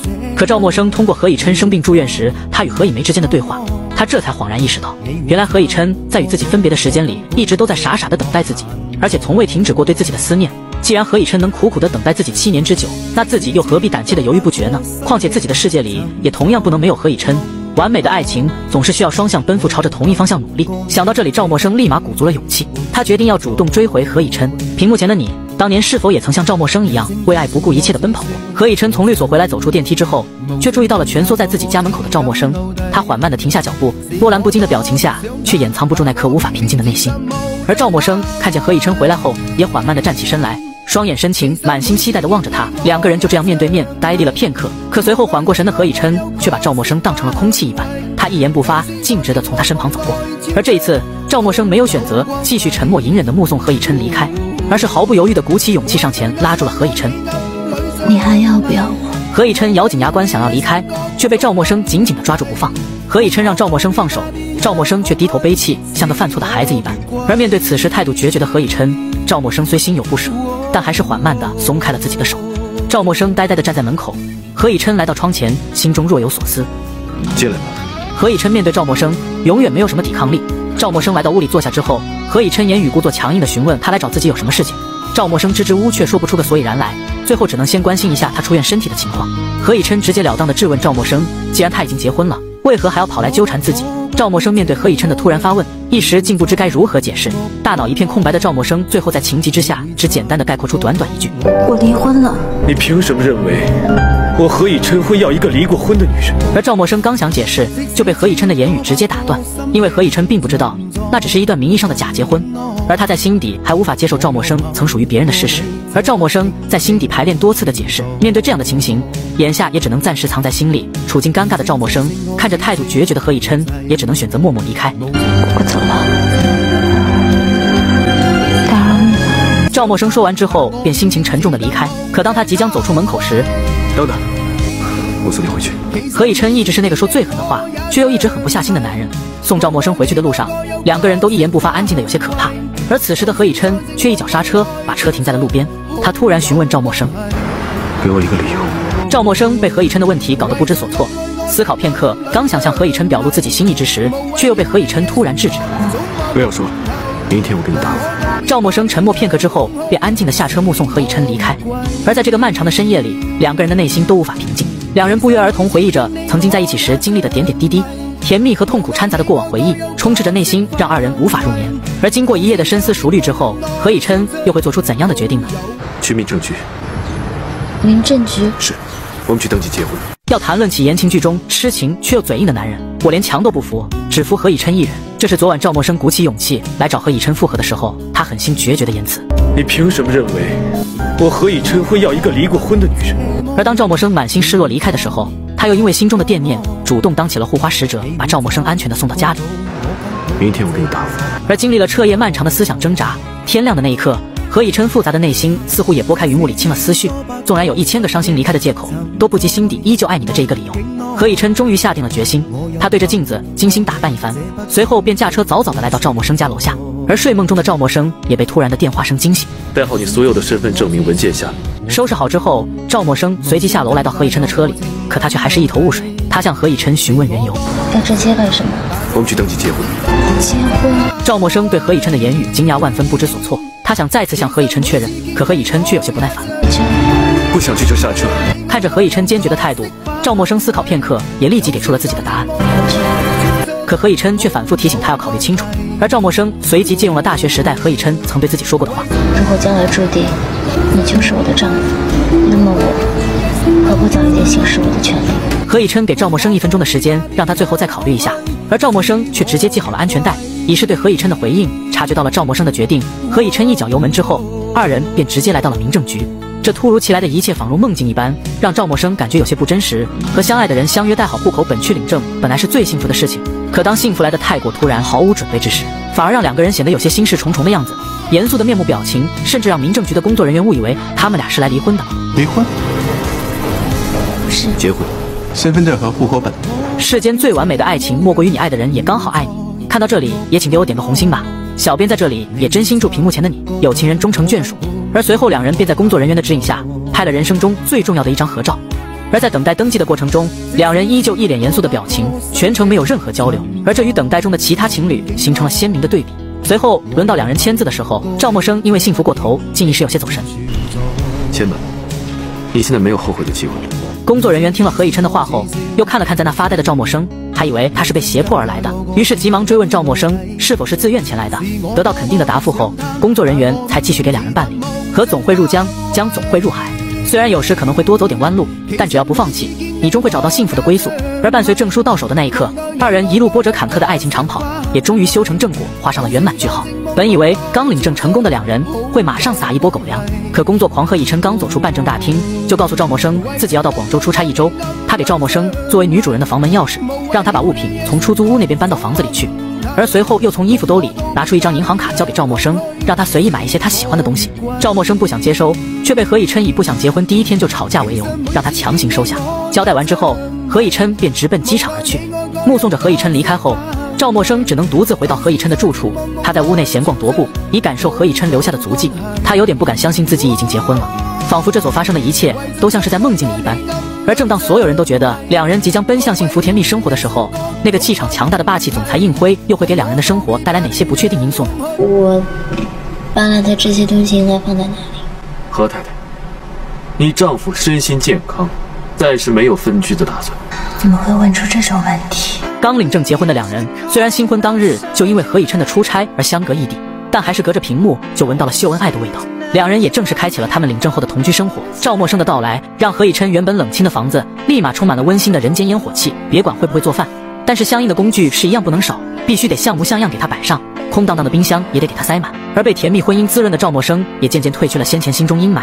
从以前那个苦大仇深的伤心女孩，摇身变成了满脸微笑的幸福小女人。她精心布置着她与何以琛的温馨爱巢，房间的每个角落都布满了她对何以琛的满满爱意。冷清寂静的房子，经过一番装扮之后，立马焕然一新，充满着温馨气息。大功告成之时，她一脸幸福的不停给何以琛发消息，告知着房间的变化。可发出的信息却好似石沉大海，并没有得到电话那头何以琛的回应。可她依旧觉得幸福无比。而另一边出差的何以琛，也把律所对接的相应事务处置妥当。合作伙伴为了感激何以琛，特意布置了饭局以表感谢。不如我们再换个地方再喝几杯，怎么样？实在是家里有老婆，管得紧。结了婚的何以琛果然不同凡响，把赵默笙这挡箭牌用得得心应手。随后，何以琛便借故自己要搭乘明天上午的航班飞回上海为由而离开了饭局。在步行回酒店的路上，何以琛看到了天桥上两个拍照片的女孩，这不禁让何以琛触景生情，想起了他与赵默笙大学初见时的场景。出于对赵默笙的深深思念，何以琛不加思索的直接买了返程机票。而当他飞回上海之时，已然是深夜了。马不停蹄的路程让他有些劳累，可为了怕打扰到赵默笙，他还是轻手轻脚的推开家门。当他把西装放到沙发上，随后抬头的那一刻，瞬间就嗅到了幸福甜蜜的气息。原来空荡的桌子上因为盆栽的装饰而充满了生机，客厅也被收拾得整齐利落。温馨的窗帘让原本冷清的屋子充满了暖意。他蹑手蹑脚地来到卧室，看着躺在床上熟睡的赵默笙，这一刻内心的幸福感油然而生。他贴心地为赵默笙盖好被子，随后便满眼深情的轻声关门离开。坐在椅子上的何以琛环顾着屋内温馨的变化，这让他感受到了前所未有的幸福感。这一刻，他顿时感觉七年的等待终究还是值得的。隔天醒来的赵默笙看到何以琛之后，心里掩藏不住的开心。什么时候回来的？也没有叫我。十一点多。没有必要。那你是不是看到我睡你房间了？我不介意。何以琛用他那冷淡无奇的表情，竭尽全力地掩饰着内心的热情似火。而随后，他便要开车送赵默笙去上班，因为两个人的公司在相反的方向。赵默笙怕影响他的工作，想自己坐公车去上班，可何以琛却偏偏要编出一个顺路去办事的借口，结果搞得自己却因此迟到。何律师，您约的客户已经到了，您大概几点能到？到了律所之后，处理完事务的何以琛便直接遭到了合伙人老袁的调侃。因为昨晚七点二人通话之时，他还在广州，而今早却出现在了律所。老袁调侃何以琛，如若不是自己知道何以琛还是单身，真怀疑他是不是金屋藏娇、思妻心切才连夜跑回来的。不得不说，老袁如果不干律师，出去给人占卜预言，也绝对是一把好手。而另一边，身处国外的应辉正在参观一场摄影展，而一张酷似赵默笙的女孩照片，却勾起了他曾经与赵默笙在一起时的那段回忆。虽然只是一场名义上的协议结婚。可英辉却知道自己已经不由自主地动了真情，强烈的思念让他做了一个重大决定。他委托自己的律师把离婚协议书从法院撤回，而这也意味着赵默笙先前收到的离婚协议书还并未生效。而随后，英辉也决定回国参加大学母校的百年校庆，并以他和赵默笙的夫妻名义向母校捐款三千万。而他与何以琛之间的一场较量也才刚刚开始。以琛，什么事？我钥匙好像找不到了。那个曾费尽心思说着笨拙的谎言，就只为了能早点见到你的人，现在还在你的身边吗？提早结束工作的赵默笙不想一个人回家，于是便找理由来到律所附近等待何以琛。可何以琛的手上还有一堆工作没处理完，于是只能下来给他送钥匙。等待的过程中，赵默笙一个人自娱自乐，在空地上玩起了跳格子的游戏来打发时间。而他蹦蹦跳跳的样子，情不自禁的让何以琛回想起他们读大学时赵默笙等待何以琛下课时的场景。陷入沉思之中的何以琛，忽然觉得此时的赵默笙仿佛又回到了曾经大学时代活泼可爱的样子。而这过往一点点堆积的甜美回忆，正是他们坚如磐石的感情写照。那个夏天的阳光很耀眼，但却不及他们彼此身影在各自眼中闪耀的光芒。直到一个旅行者上前向赵默笙问路，才打破了二人宁静的氛围。而随后走上前的何以琛询问赵默笙的钥匙忘在了哪里，看着赵默笙低头支支吾吾找借口的样子，何以琛假装一脸淡定，可心里却在情不自禁的微笑。以后你若是犯了罪，最好保持沉默，不然肯定三言两语就原形毕露。直男何以琛真的是一点情面都不讲，就这样当面拆穿了赵默笙的小心思。但他还是把钥匙交给了赵默笙之后，便打算继续回去工作。眼见何以琛并没有挽留自己的意思，赵默笙主动提出要和他一起吃晚饭，可何以琛却因为自己手头上工作还没处理完，于是便拒绝了他的请求。但却被赵默笙紧追了几步，拉住衣袖。那我等你。伴随着赵默笙的一句“我等你”，顿时让何以琛的内心充满了暖意。而随后，何以琛缓慢转过身，看着拉着自己袖口的赵默笙，他感觉自己曾经的那个小尾巴真的已经回来了。而两人腼腆含蓄的样子，根本不像一对刚结婚的小夫妻，反倒看起来更像是恋爱没几天的小情侣。而何以琛也随即决定让赵默笙陪自己来到律所，等他忙完工作，两人再去吃饭。赵默笙听到了何以琛肯定的回应，急忙笑嘻嘻的跟了上去。赵默笙为了让何以琛下班回到家后能吃上热乎乎的饭菜，他按照菜谱自学演练起了厨艺。而下班回到家后的何以琛看着厨房里正在认真忙碌的赵默笙以及那充满暖心的人间烟火气，他心里顿时感觉格外的温暖，幸福来得太过突然，仿如活在梦境之中，让人觉得不太真实。几天前自己还是名副其实的二十四 K 黄金单身汉，而现在回到家竟能吃上老婆做的热乎饭。你的电脑可以借我查一下菜谱吗？随便。得到何以琛肯定的答复后，赵默笙立马开心的来了个剪刀手，然后便拿着何以琛的电脑继续翻找起了菜谱。何以琛把自己的西装挂在卧室的衣柜里，看着旁边衣柜里面赵默笙衣服的那一刻，他确信这一切的幸福都是真实存在的。而此时，厨房突然的叫喊声打破了此时的宁静，让何以琛瞬间回过神来。怎么回事？我把汤洒了，你的电脑。虽然何以琛是个工作狂，电脑里有重要的律所资料，但是对于这个宠妻狂魔何以琛来说，眼下任何事情都比不上爱妻重要。他贴心的为赵默笙涂抹烫伤药，这一刻在赵默笙的心里，就连空气都是甜的。擦拭完药物之后，何以琛才想起来查看自己的电脑，而此时的电脑已经无法开机了，因为资料都有备份，但是唯独明天有一份要用的外文资料还没来得及从电脑之中导出。赵默笙自责惭愧地低下了头，像个闯祸等待被责罚的孩子。何以琛让赵默笙陪自己把资料翻译出来，以备明早使用。可虽然在国外生活了好几年，可从大学时赵默笙就根本不擅长这些东西，一看到写满文字的资料，他立马头都大了，但他又不好意思去询问何以琛来打扰他。而转眼两人已经忙到了深夜，困意泛滥的赵默笙不知不觉间就靠着何以琛睡着了。何以琛看着自己肩膀上熟睡的赵默笙，心里瞬时涌起甜甜的幸福感。而隔天一早醒来的赵默笙发现自己躺在了床上，还换上了睡衣，这让他顿时有一丝腼腆的害羞。昨天晚上我好像睡着了。嗯，嗯，那我换的。赵默笙听后立马害羞的低下了头，而两人幸福甜蜜的撒狗粮生活却还在继续。嗯，昨天晚上我好像睡着了。嗯，嗯，那我换的。啊？什么？嗯，你说那个睡衣啊？不然你想问什么呢？赵默笙的小心思真是被直男何以琛研究的透透的。赵默笙昨晚帮何以琛翻译资料时，却不小心靠着他的肩膀睡着了，而第二天醒来时，不仅躺在了床上，并且还换了睡衣，这让他顿时感觉有些难为情。而走出房间的赵默笙，却看见何以琛正忙着准备两人的早饭，这让他心里顿时感到甜甜的幸福。而当赵默笙得知昨晚自己熟睡时，是何以琛帮自己换的睡衣，这让他立马害羞起来，只能靠低着头不停喝汤来缓解此时心中的尴尬。而即使纵然幸福如何以琛与赵默笙的感情，也总有不可避免的小摩擦。赵默笙下班时，在门口信箱帮何以琛领取了信件，而他也从下班回家的何以琛口中得知，他给何以梅的父母买了新房，下周就要交付房源了。听闻何以梅的父母要来，赵默笙的心里瞬时开心起来。他自认为借着此次机会，何以琛一定会带自己见见家长。一想到即将到来的见面，赵默笙也决定要用心准备一番。他去花卉市场认真挑选着装饰品，并把家里布置成温馨气氛。他还特意精挑细选，提前预定好了餐厅。可不成想，何以琛带着两位老人参观完新房之后，便直接带着他们用餐去了，根本就没想让赵默笙参加。而用餐期间，何以琛也接到了赵默笙打来的电话。我刚刚订了两家餐馆。我们已经在吃饭了。啊？你自己吃吧，他们今晚就回去了。赵默笙所有的计划和用心准备都瞬间化为泡影，而他最在乎的也是何以琛并没有把自己介绍给他的家人，这也是让他最为失落的原因。而直男何以琛似乎根本没把这些事情放在心上。回到家的何以琛看到赵默笙之后，也察觉到他强装微笑背后隐藏的失落心情。他询问赵默笙，可赵默笙却装作若无其事的样子。而在进入卧室之前，赵默笙还是因为心中的压抑之情，忍不住询问了何以琛：“你是不是后悔了？”何以琛认真的看着赵默笙，却还反应不过来他为何会有这样的疑问，所以才不让我见你亲，也不告诉任何人我们结婚了。何以琛听后才明白赵默笙心中在乎的事情，而这些也被他偷偷记在了心里。而另一边的霸总英辉也已经回国，他从秘书那里先前调查到赵默笙出租房的位置信息，于是刚下飞机便马不停蹄的前来问候。他对即将到来的见面满心欢喜，却不知赵默笙早已与何以琛领了结婚证，并已经同居。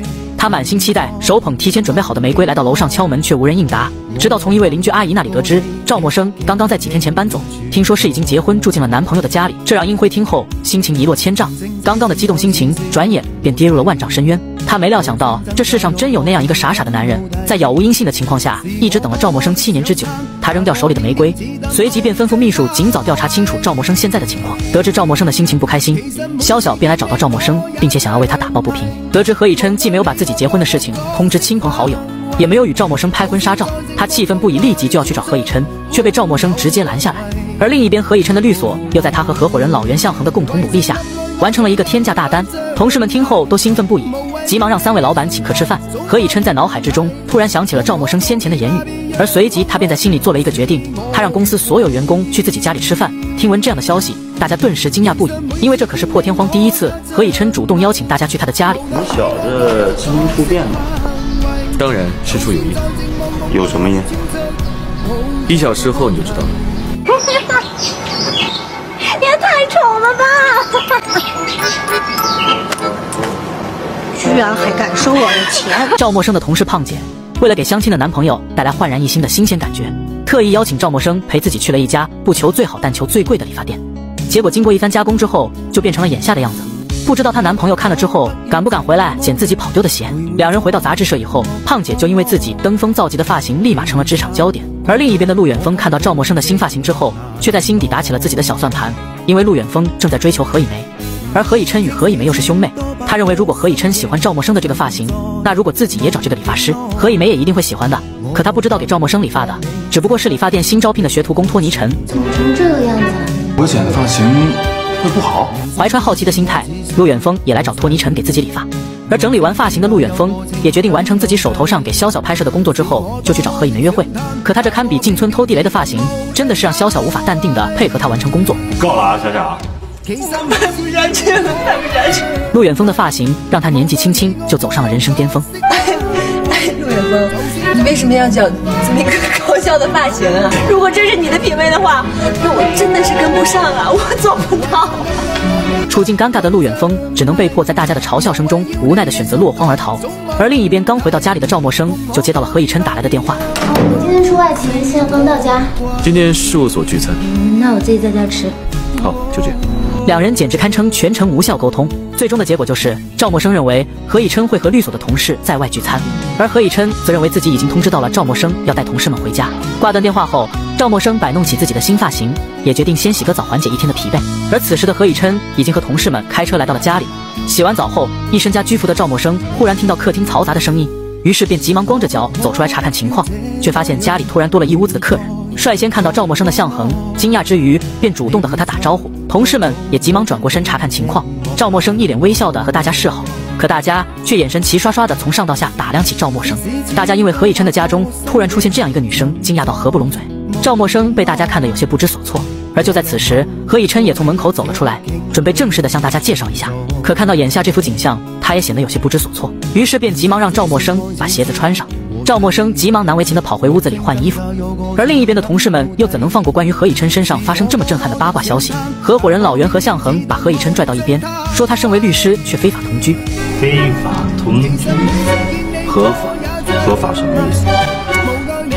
就是男女双方在平等自愿的基础上建立的长期契约关系。搞法律的何以琛果然出口不同凡响，居然把领结婚证这件事解释的这么富有逻辑，头头是道。而随后律所的老袁便迫不及待的把这惊天地泣鬼神的爆炸消息告诉了下属员工，这让大家听后好像中了葵花点穴手一般，惊讶到一动不动。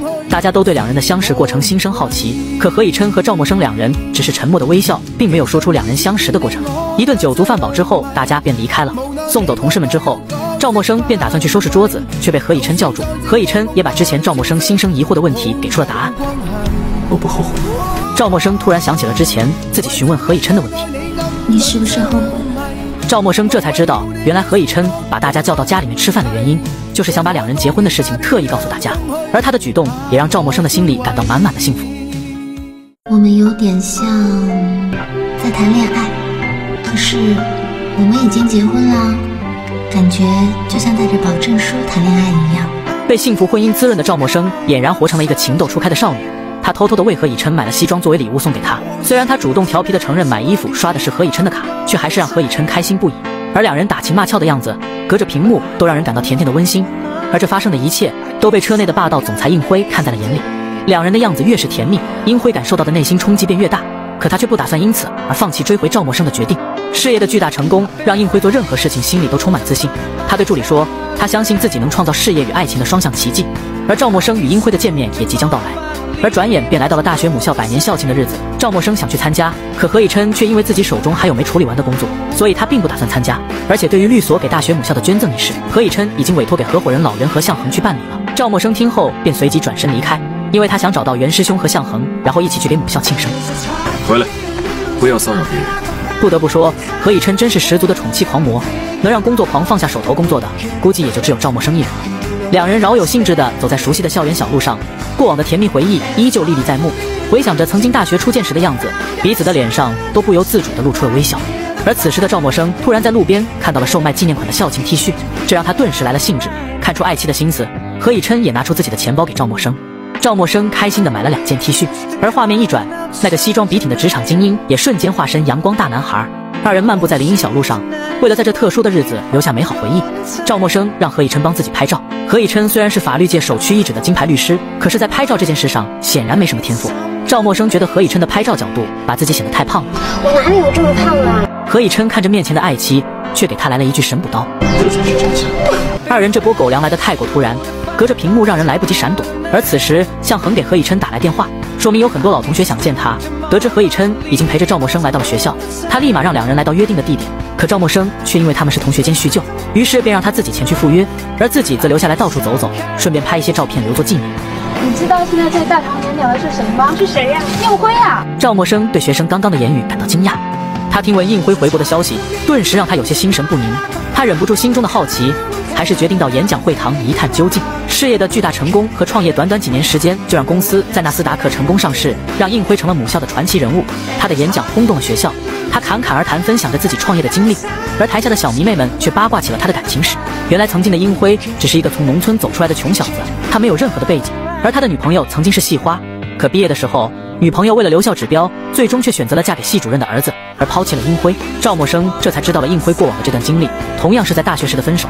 英辉的女友转头就选择了赤裸裸的现实生活，而何以琛却在音信全无的情况下，足足等待了自己七年之久。此时此刻，赵默笙走出会堂，忍不住打电话给何以琛。以琛，我好想你。何以琛听后半天没有说话，询问了赵默笙所在的地点之后，何以琛便直接奔向赵默笙。他带着赵默笙骑行在校园熟悉的小路上，仿佛一瞬间，他们二人又回到了曾经大学时的场景。而正是因为他们心中那份对坚守爱情的执念不改，也注定让两个人的爱情，不论遇到多少波折，都能彼此陪伴走到最后。殷太太，哦，殷太太，没想到在这里见到你，你还记得吧？去年啊，多多承蒙你和殷先生在美国对我的照顾，这次你们咸康里回国呀，我一定要好好的尽地主之谊。自己的新婚妻子却在大庭广众之下被人当成了别人的老婆，这场面真是尴尬到极限了。看到赵默笙此时怯懦紧张的样子，何以琛立马心疼的赶紧握住他的手给他安慰，随后便想向对方解释。而赵默笙见此情形，立即打断了何以琛的话。为了不让何以琛在他的同学面前丢了面子，赵默笙只好假装跟他不认识。不好意思，这位先生，你真的认错人了。尽管赵默笙予以否认，可是大家仍然心存疑惑。就在场面陷入两难之时，应辉和校领导谈完事情刚好经过，而此人也立即叫住了应辉。应辉转过身上前与他礼貌的握手致意，他正好借此机会向应辉确认赵默笙的身份。刚才啊，我说他是，他非说我认错人了。哎呀，不过我太太正在日本度假，你的眼力可不如以前了。应辉三言两语之间，便一石二鸟化解了这场尴尬的小插曲，既替赵默笙的窘境解了围，也顺带不让自己的处境难堪。客套寒暄几句之后，应辉便转身离开。而走出了一段距离之后，应辉还不忘回头看了一眼赵默笙身旁的何以琛。两人眼神对视一刻，已深知对方绝非等闲之辈。何以琛也感受到了应辉强大的气场。众人们看着应辉离开的身影，都不禁心生感叹：有实力为大学母校捐款三千万就是不一样，就连校领导都得跟在身后。可他们不知道的是，这笔款项是应辉以他和赵默笙的夫妻名义捐赠的。心情忐忑不安的赵默笙像个犯错的孩子，他急于向何以琛做出解释，想说清楚事情的始末原委。可何以琛却表现得一脸从容淡定。我想和你说一下在美国的事情。而何以琛告诉赵默笙，这件事情等以后有机会再说。何以琛的态度让赵默笙的内心更加胆怯。何以琛带着赵默笙来到包间之中，和昔日的同学叙旧吃饭。而席间，何以琛去洗手间的时候，却又恰巧与应辉相遇，两人都不约而同的转过身来，言语互相恭维之间，也告示着二人之间不可避免的一场较量正式开始。何以琛，这样大，应先生才是名扬四海。而众人得知了何以琛与赵默笙结婚的事情，都连连向二人敬酒表示恭喜。赵默笙因为不胜酒力又不好推脱，于是饭局收尾之时，赵默笙已经在酒精的作用下熟睡过去。回到家的何以琛抱着熟睡的赵默笙，将他放到了床上，看着心爱女人熟睡的样子，何以琛还是情不自禁地俯下身亲吻了赵默笙的额头。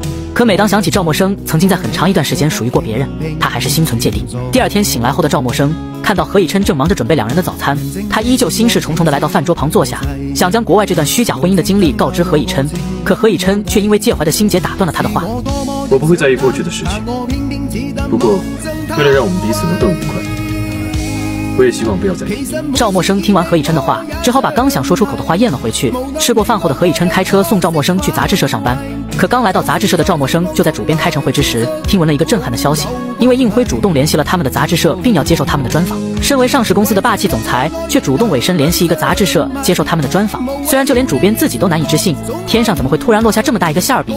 主编把这个工作当成杂志社眼下的首要任务。主编让总监带着赵默笙去完成这次采访拍摄任务。可赵默笙借故推脱，说自己手上还有没完成的工作，于是便把拍摄一事交给了自己的搭档陆远峰去完成。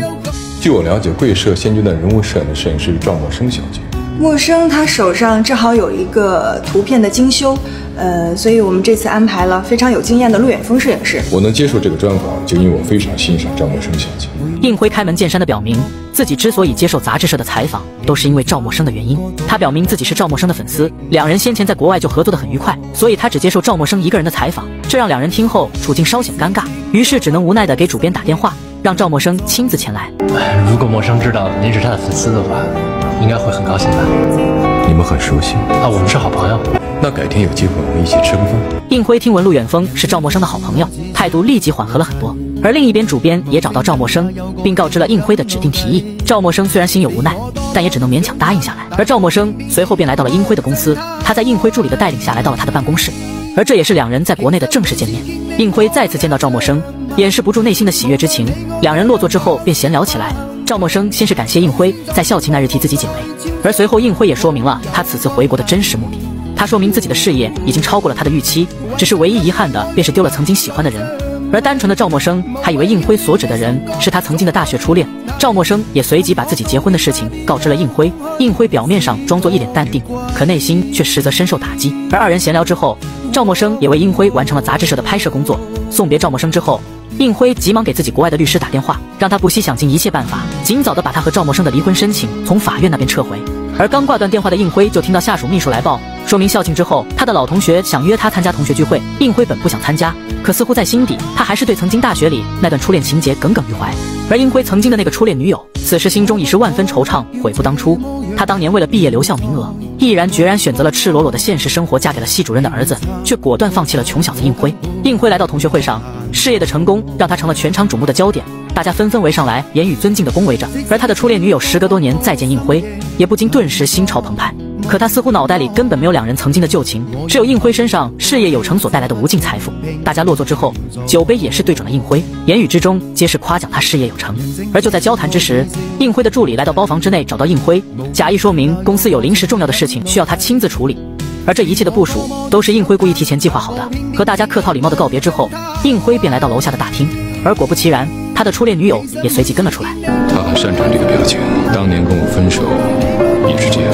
应辉上前和他的初恋女友打招呼，并嘘寒问暖地关心着他。而他的女友也为自己当年提出的分手做出解释。当年他的父亲病重，急需一大笔手术费用，而应辉表示只要他过得幸福，自己就心满意足了。应辉随即吩咐自己的助理安排自己的专车，亲自送他回家。这让他的初恋女友仿佛又看到了一丝希望。等他的初恋女友离开之后。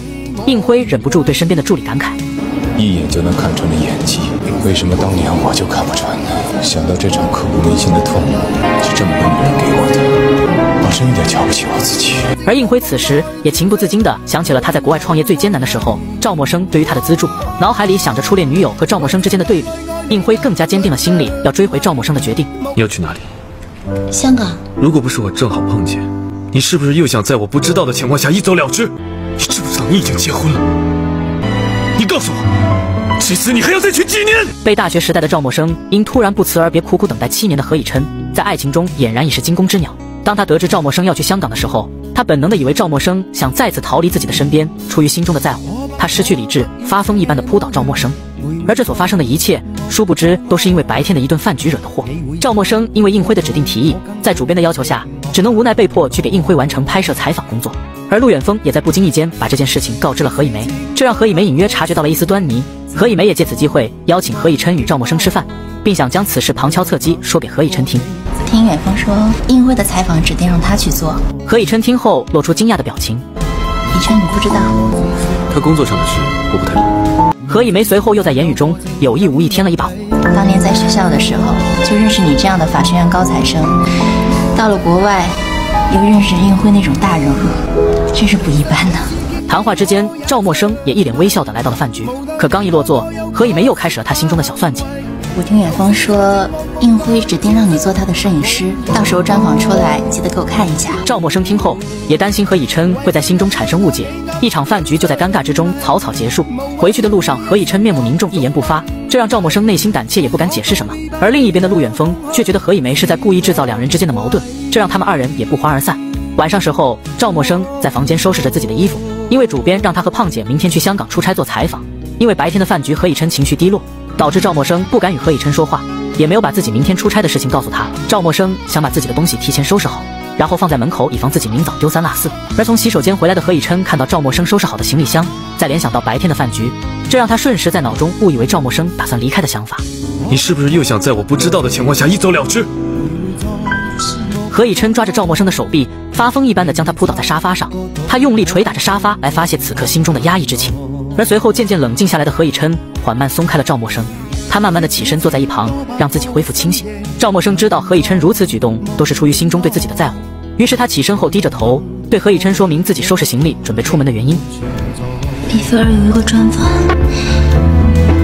去几天就回来。何以琛听了赵默笙的话，才知道自己因为情急之下没问清楚事情的原委，误解了赵默笙。这让他心生愧疚，对自己刚刚鲁莽的举动有些后悔。赵默笙低着头坐到何以琛的身边，他慢慢握住何以琛的手，因为他知道这个男人在心里有多在乎自己。看着赵默笙的举动，何以琛的心里也终于清醒过来。他靠在赵默笙的肩膀上，为自己刚刚的过失举动给赵默笙道歉。两人深情的依偎在一起，七年的分别，苦苦等待再相遇。他们深知彼此一直在对方的心里无可替代，更懂得这份感情的来之不易。而隔天一早，赵默笙便和同事们搭乘飞机来到香港，准备杂志社的外访拍摄工作。受访对象是国际时装达人米菲尔。米菲尔的助理带着几人来到一个举办派对的公寓内，却不想在此处遇见了霸总应辉。而殊不知，这一切看似偶遇的安排，实则却是应辉为了见到赵默笙提前安排好的。李琛，我我想跟你说一件事儿，但是你得答应我，你先不要生气。什么事？我是过来采访米菲尔的，可是我被他们带到了一个酒会上，然后就遇见了应辉。你怎么知道的？接到赵默笙主动打来的电话，何以琛的心里却隐约有一种踏实的感觉。他让赵默笙把地址发到自己的手机上，随即便挂断了电话。他打电话通知楼下的助理，立即帮他订一张飞往香港的机票。而另一边的赵默笙也不想和应辉接触，以免产生不必要的麻烦，让何以琛误解。他躲在卫生间内，迟迟不敢出去，直到看见外面的天色也有些暗淡下来，他才想着从洗手间内走出去。他希望能早点和同事回到住处，以备躲过与应辉的接触。可却不想应辉却一直在门外等着他。应辉想带着赵默笙去吃一点东西，却被赵默笙婉言拒绝。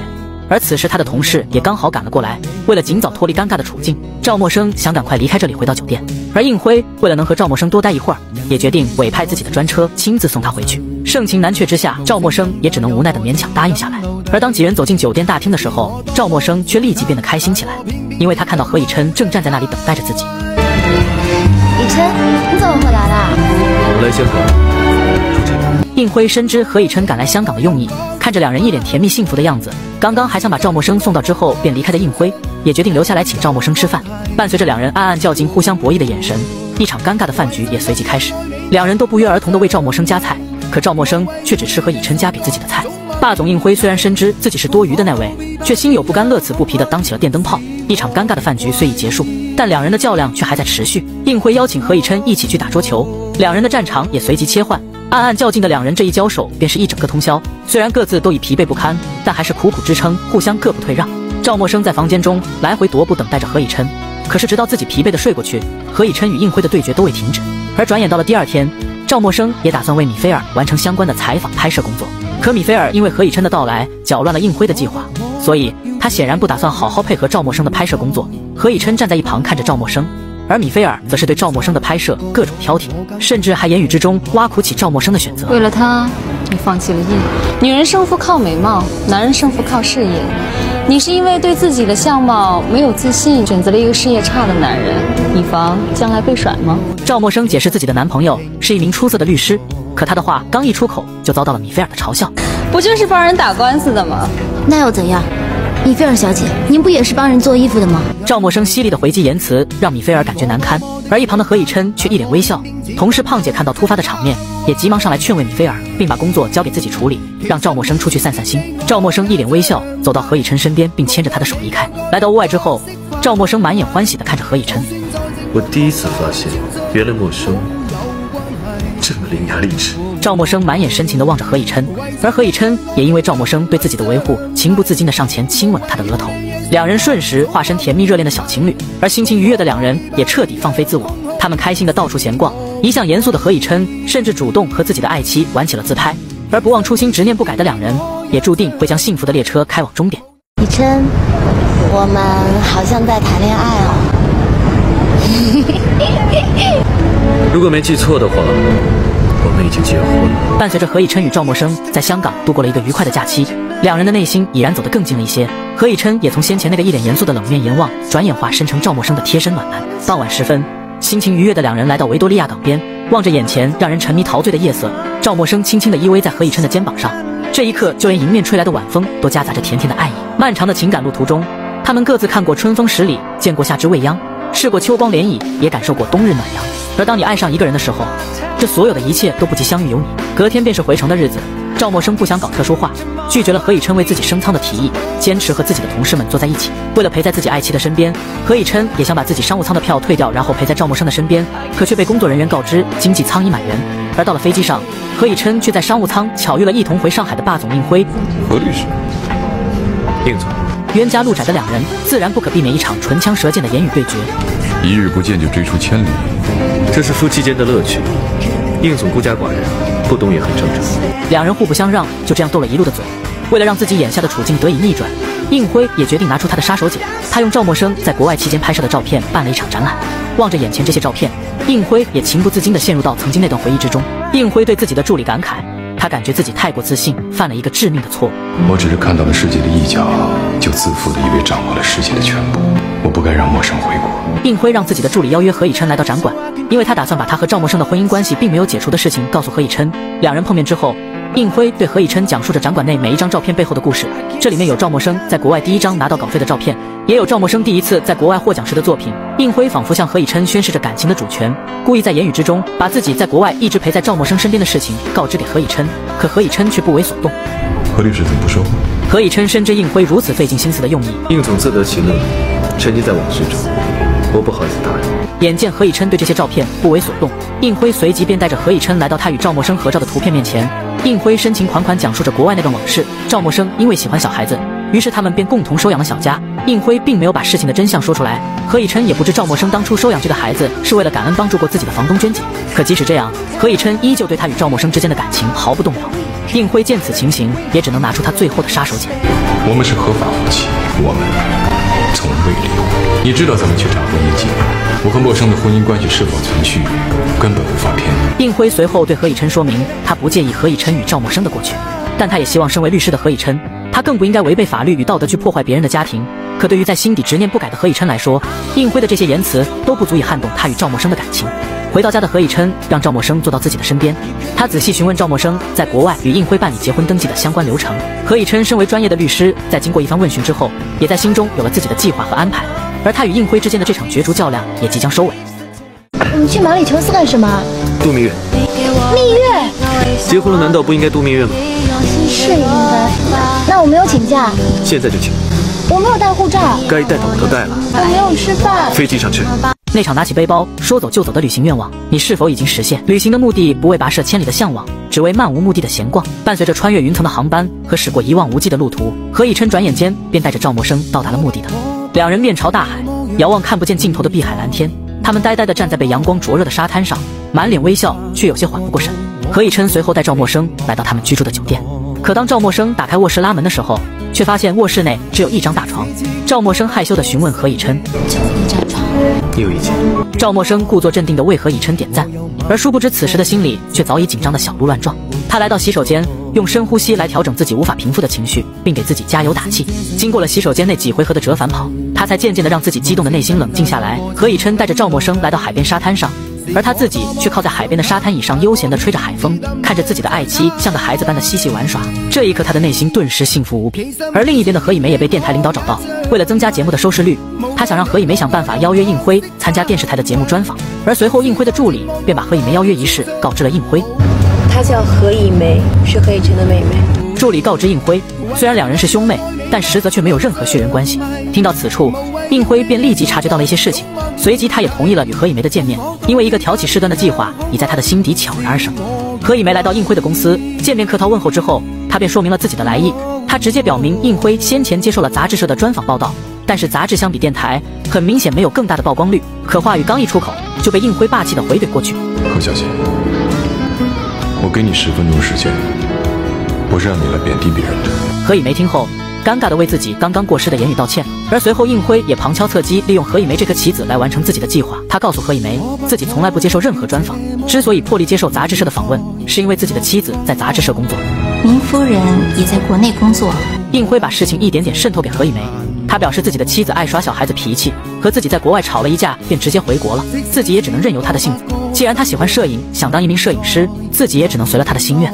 何以梅顺着应辉提供的思路，想着应辉刚刚说的话，她很快便联想到了赵默笙。赵默笙，何小姐也听说过太太的名字，真的是赵默笙。何以梅得到应辉的确认后，立马变得心不在焉起来，因为她感觉赵默笙欺骗了何以琛，可何以琛却还被蒙在鼓里。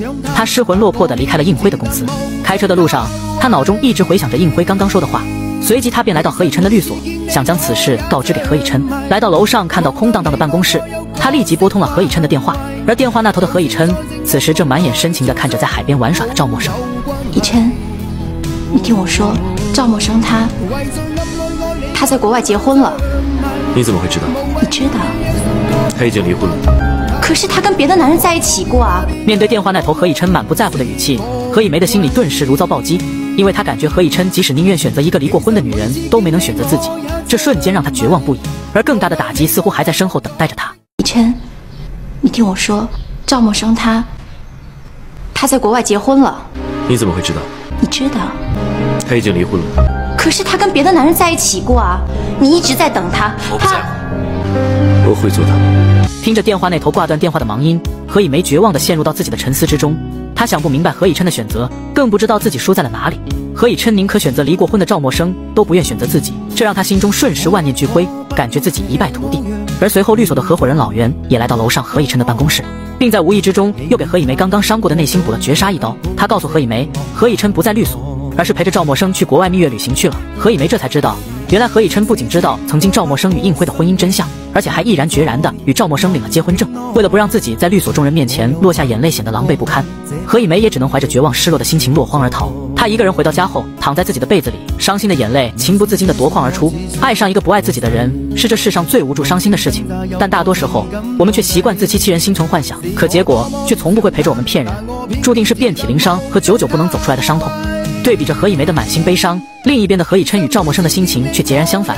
两人一身轻松的嬉戏于碧海蓝天之间，放空的心灵被陶醉的景色和甜甜的爱意充满着整个心底。海风轻抚着两人的面颊，两人漫步在柔软的沙滩上，海浪追打着向岸边涌来，悄悄擦去两人的足迹。临近傍晚，两人坐在海边沙滩上，赵默笙轻轻依偎在何以琛的肩膀。这一刻的幸福如同画面般美妙绝伦，但赵默笙却不巧被爱的微风吹过了头，导致自己感冒，让两人甜甜的蜜月旅行不得不按下暂停键。何以琛为赵默笙吃药，并假装言语上责备他打乱了自己的下一步计划。这让赵默笙一头雾水。他好奇地向何以琛询问，可何以琛的回答却让他瞬间一脸害羞。赶快变成事实回忆。反应过来的赵默笙满脸害羞，想故意岔开话题，随后他便心里小鹿乱撞般的赶紧躲进被子里。这一波狗粮隔着屏幕输出，顿时让我有些难以消化。而另一边的何以玫也渐渐理清了自己的思绪，她终于醒悟，对于一个不爱自己的人来说，即使付出再多，也终将无法打动对方的内心。她想在心底放下对何以琛的感情，同时她也不想让另一边追求自己的陆远峰在自己身上浪费时间。她给陆远峰打去电话，告知了自己的真实想法。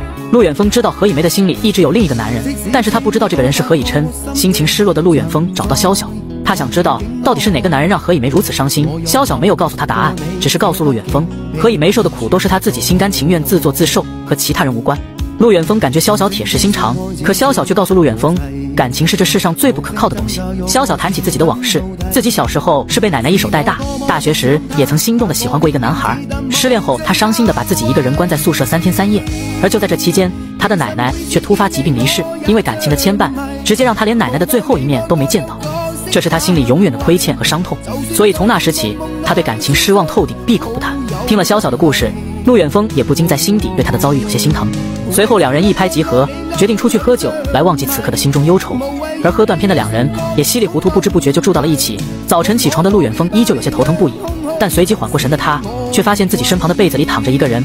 他心惊胆战地走过去，掀开被子的一条缝隙，这让他顿时惊讶万分。正当他不知所措的时候，萧小也醒了过来。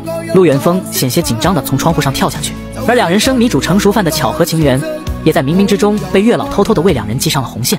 听说小师妹的杂志社要采访向恒，他们也太没眼光了。你选来选去，你为什么不选我呀？体谅一下，人家也要考虑销量的。随着何以琛这句伤害性不大，可侮辱性极强的言语脱口而出。他和合伙人老袁的友谊小船再次沉没，而何以琛与赵默笙的蜜月旅行也已结束，各自回到了工作岗位之中。赵默笙陪着同事来给向恒做专访，可因为向恒和赵默笙是大学校友，彼此又太过熟悉，这让向恒反而有些放不开。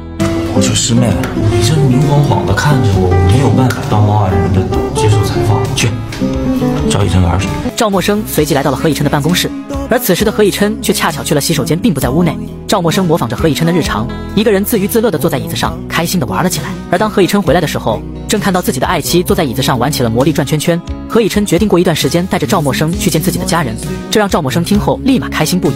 而谈话之时，霸总应辉的电话却打了过来。应辉在电话中表明自己有重要的事情需要当面对他讲，赵默笙没有直接答应下来，而是答应稍后给他回电话。挂了电话的赵默笙把应辉邀约一事原原本本的告诉给了何以琛，何以琛也决定亲自开车送他过去。来到楼上之后，应辉便带着赵默笙来到了展馆内，并表明想把这个展馆作为礼物送给他，因为里面的作品都是他在国外时所拍摄的照片。赵默笙听后连连推脱，应辉自以为是的惊喜到了赵默笙这里都变成了惊吓。随后，应辉便带着赵默笙来到了他们两人与小佳的合照面前。应辉想起国外时自己与赵默笙那段难忘的日子，他也随即向赵默笙表达了自己的心意。难道你真的不明白吗？你说过，你这次回来是为了要找寻你曾经的女友。我说要找回失去的爱，是你。不，应大哥，我们已经离婚了。赵默笙对应辉说明，当初协议结婚的目的也只是为了收养小佳而已。说完之后，赵默笙便想转身离开，却被应辉一把拽住。应辉表明，在国外那段时间一直都是自己陪伴着他，他和何以琛的感情已经回不到最初时的样子。我们现在很好，我会好好经营我的婚姻。你和他没有什么婚姻。情绪激动的应辉渐渐冷静下来之后，便对赵默笙说明，他们两人之间才是合法夫妻。这让赵默笙听后顿时一脸惊讶。应辉表示，他们之前递交到法院的离婚协议，因为不符合规定，已经被退了回来，所以他们之间的离婚并未生效。赵默笙对事情的结果难以置信，可应辉告诉他，事实就是如此。应辉想带着赵默笙回到国外，重新开始两人的生活，但却被赵默笙直接拒绝。应辉也决定给他时间，让他好好考虑一下。随后，赵默笙便直接离开。回到车里的赵默笙满心失落，却又难以启齿。最后，他还是把事情的真相告诉了何以琛。刚刚应大哥他跟我说，我跟他在美国的离婚被判无效，但是我真的没有骗你，我根本就不知道。可何以琛却并不吃惊，反而表现得一脸淡定，因为他先前便早已知晓此事。看着何以琛的表情，赵默笙刚刚悬着的心才慢慢放下。而随后，何以琛便开车带着赵默笙故地重游，来到了他们大学时代常去的教堂。而何以琛对赵默笙的承诺也即将兑现。以琛，这是不是挺不错的？以后我也要在这举行婚礼。你年少之时对那个人许下的承诺，如今是否已经兑现？他现在是否是你的枕边人，陪你过着一屋两人三餐四季的简单生活，还是和你再一次悲伤的告别后，就转身消失在茫茫人海，从此音信全无？经历了大学时的相遇相恋，熬过了七年时间里天各一方的分别相思之苦，所幸何以琛与赵默笙不忘初心，又回到了彼此的身边，来到曾经许下诺言的教堂门口。两人深知这一路走来有多么的不容易，但所幸结果是好的，就是最大的幸福。何以琛拿出准备许久的钻戒向赵默笙求婚，赵默笙面对突然的场景怦然心动，却又显得有些不知所措。可何以琛却觉得意义不同，对于他们两人来说，兑现诺言的这一刻才是真正意义的在一起。何以琛拿出戒指为赵默笙戴上，眼见气氛都烘托成这样了，情不自禁的两人便想来个甜蜜深情的拥吻，可却不想被赵默笙紧张后的咳嗽打断。甜蜜温馨的气氛被眼前发生的突发情况搞砸，爱情转眼变成了喜剧。赵默笙一脸尴尬的微笑。你还能更煞风景吗？刚才有点喘不过气来。何以琛随即便把赵默笙拥入怀中，并告诉他自己不会现在欺负他的。听了何以琛的话，赵默笙却顿时一脸坏笑起来。其实是可以的。看到这里，不禁让我想起了星爷电影中达叔曾经的那句经典台词：“这种要求我真是一辈子都没见过。”面对赵默笙没羞没臊的要求，何以琛随即便带着赵默笙回到了两人幸福的爱巢。接下来的这段，我猜大家都不喜欢看，我帮大家看看得了。何以琛走到窗边，心中若有所思，因为经过此事之后，他才打开所有的心结，先前自己心里的误解和芥蒂都烟消云散。因为离别的七年时间里，赵默笙依旧为这份感情忠贞不渝的守护着，而先前的何以琛却误以为应辉也曾与赵默笙有过亲密的举动。以琛，怎么忽然醒过来了？你怎么没睡觉呀？在想一些事情。想什么？何以琛满眼深情地看着赵默笙来到床边，赵默笙依偎在何以琛的怀里。因为出于先前心中的介怀，何以琛并不想听赵默笙讲述他们分别时他在国外的那段经历。对不起，你现在告诉我好不好？那个好长的。赵默笙随后便对何以琛讲述了他在国外时在餐厅打工一个人孤独无助的日子。何以琛也了解了赵默笙为感恩房东在异国他乡照顾自己的恩情，与应辉假结婚收养小家的事情。何以琛听后心疼地抓着赵默笙的手，这一刻过后，何以琛才彻底知道了事情的所有真相。我以为我会很难过的，可是再提起这件事情，竟然一点都不难过。因为现在你有我。而此事过后，宠妻狂魔的何以琛，不管自己律所的事务多繁忙，他都满脸幸福乐此不疲的给赵默笙当起了全职司机。晚上我来接。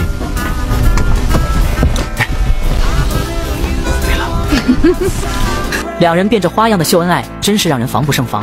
而此时律所里的客户却等待的焦头烂额。以前的工作狂何以琛，现在却成了迟到早退的专业户。所幸何以琛专业一流的实力，总是能赢得客户的信赖，三言两语之间便能解决问题的关键。合伙人老袁询问何以琛迟到的理由，被爱滋润的何以琛却直接给单身狗老袁来了一波暴击。早点结婚，你就懂了。才结婚几天啊，这三天两头跟我秀恩爱，说不定以后天天秀。老袁被何以琛的话气的感觉，这日子真是没法过了。他也决定去休假，然后征婚脱单。可话一出口，大家便落荒而逃。面对这样的场面，这可真是伤害性不大，但侮辱性极强。以琛，嗯，明天你做早饭。可以，不过要先交点早餐费。听了何以琛的话。反应过来的赵默笙顿时一脸坏笑。婚后的何以琛、赵默笙真的是彻底放飞自我，过起了没羞没臊的二人生活。而何以琛也从先前那个只顾工作的金牌律师，如今乐此不疲的为爱妻当起了家庭主妇。两人无死角的秀恩爱方式，真是不顾万千单身网友的感受。就连律所合伙人老袁现在都能跟着借光吃口热乎饭。但是饭菜虽好，可身为单身狗的老袁却难有心情下咽，因为他知道这饭菜绝对不是何以琛特意给自己做的。而三人交谈之时，向恒告知何以琛，应辉的公司因为提供财务虚假报表一事，现在已经被推上风口浪尖，估计他很快就会回到国外处理公司相关事宜。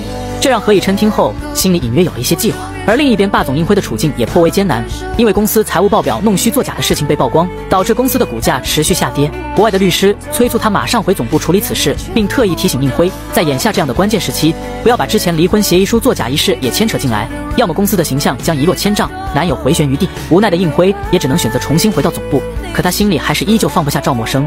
隔天上班的赵默笙便看到自己的电脑桌前放了一大束玫瑰花，可他却开心不起来，因为这并不是何以琛送的，而是霸总应辉。不想再与应辉有瓜葛的赵默笙带着花束来到他的公司，并把东西归还给他。看来你真的不太喜欢这个礼物。应大哥，如果你真的想要送我礼物，我希望是离婚判决书。说完之后，赵默笙便直接转身离开，而应辉也对赵默笙说明自己是不会放弃继续追求她的。而何以琛已经着手委托自己国外的律师朋友，找调查公司帮自己彻查一下应辉当初离婚协议的造假一事。隔天，何以琛开车准备带赵默笙去见他的家人，可两人的到来虽然受到两位老人的热烈欢迎，但却让何以梅的处境有些尴尬，因为她不能忍受两个人在自己面前秀恩爱，也对赵默笙已经与应辉结婚的事情无法释怀。随即，她便连晚饭也没吃，便借故去社区主持节目离开。晚饭过后，几人来到社区观看何以梅的主持。何以梅大方得体的舞台把控和台上的精彩演出，引得台下掌声连连。但却不想何以梅在下台阶时险些摔倒。关键时候，赵默笙急忙跑上前扶住了何以梅，但却导致自己的脚踝扭伤。看着何以梅并无大碍，何以琛便随即扶着赵默笙打算回去休息。可两人甜蜜的举动又让何以梅心生失落。何以梅出于心中对赵默笙深深的误解，她感觉赵默笙总是刻意在何以琛的面前装出一副楚楚可怜的样子。晚上回到家后，何以梅借着给赵默笙送汤的机会前来质问他。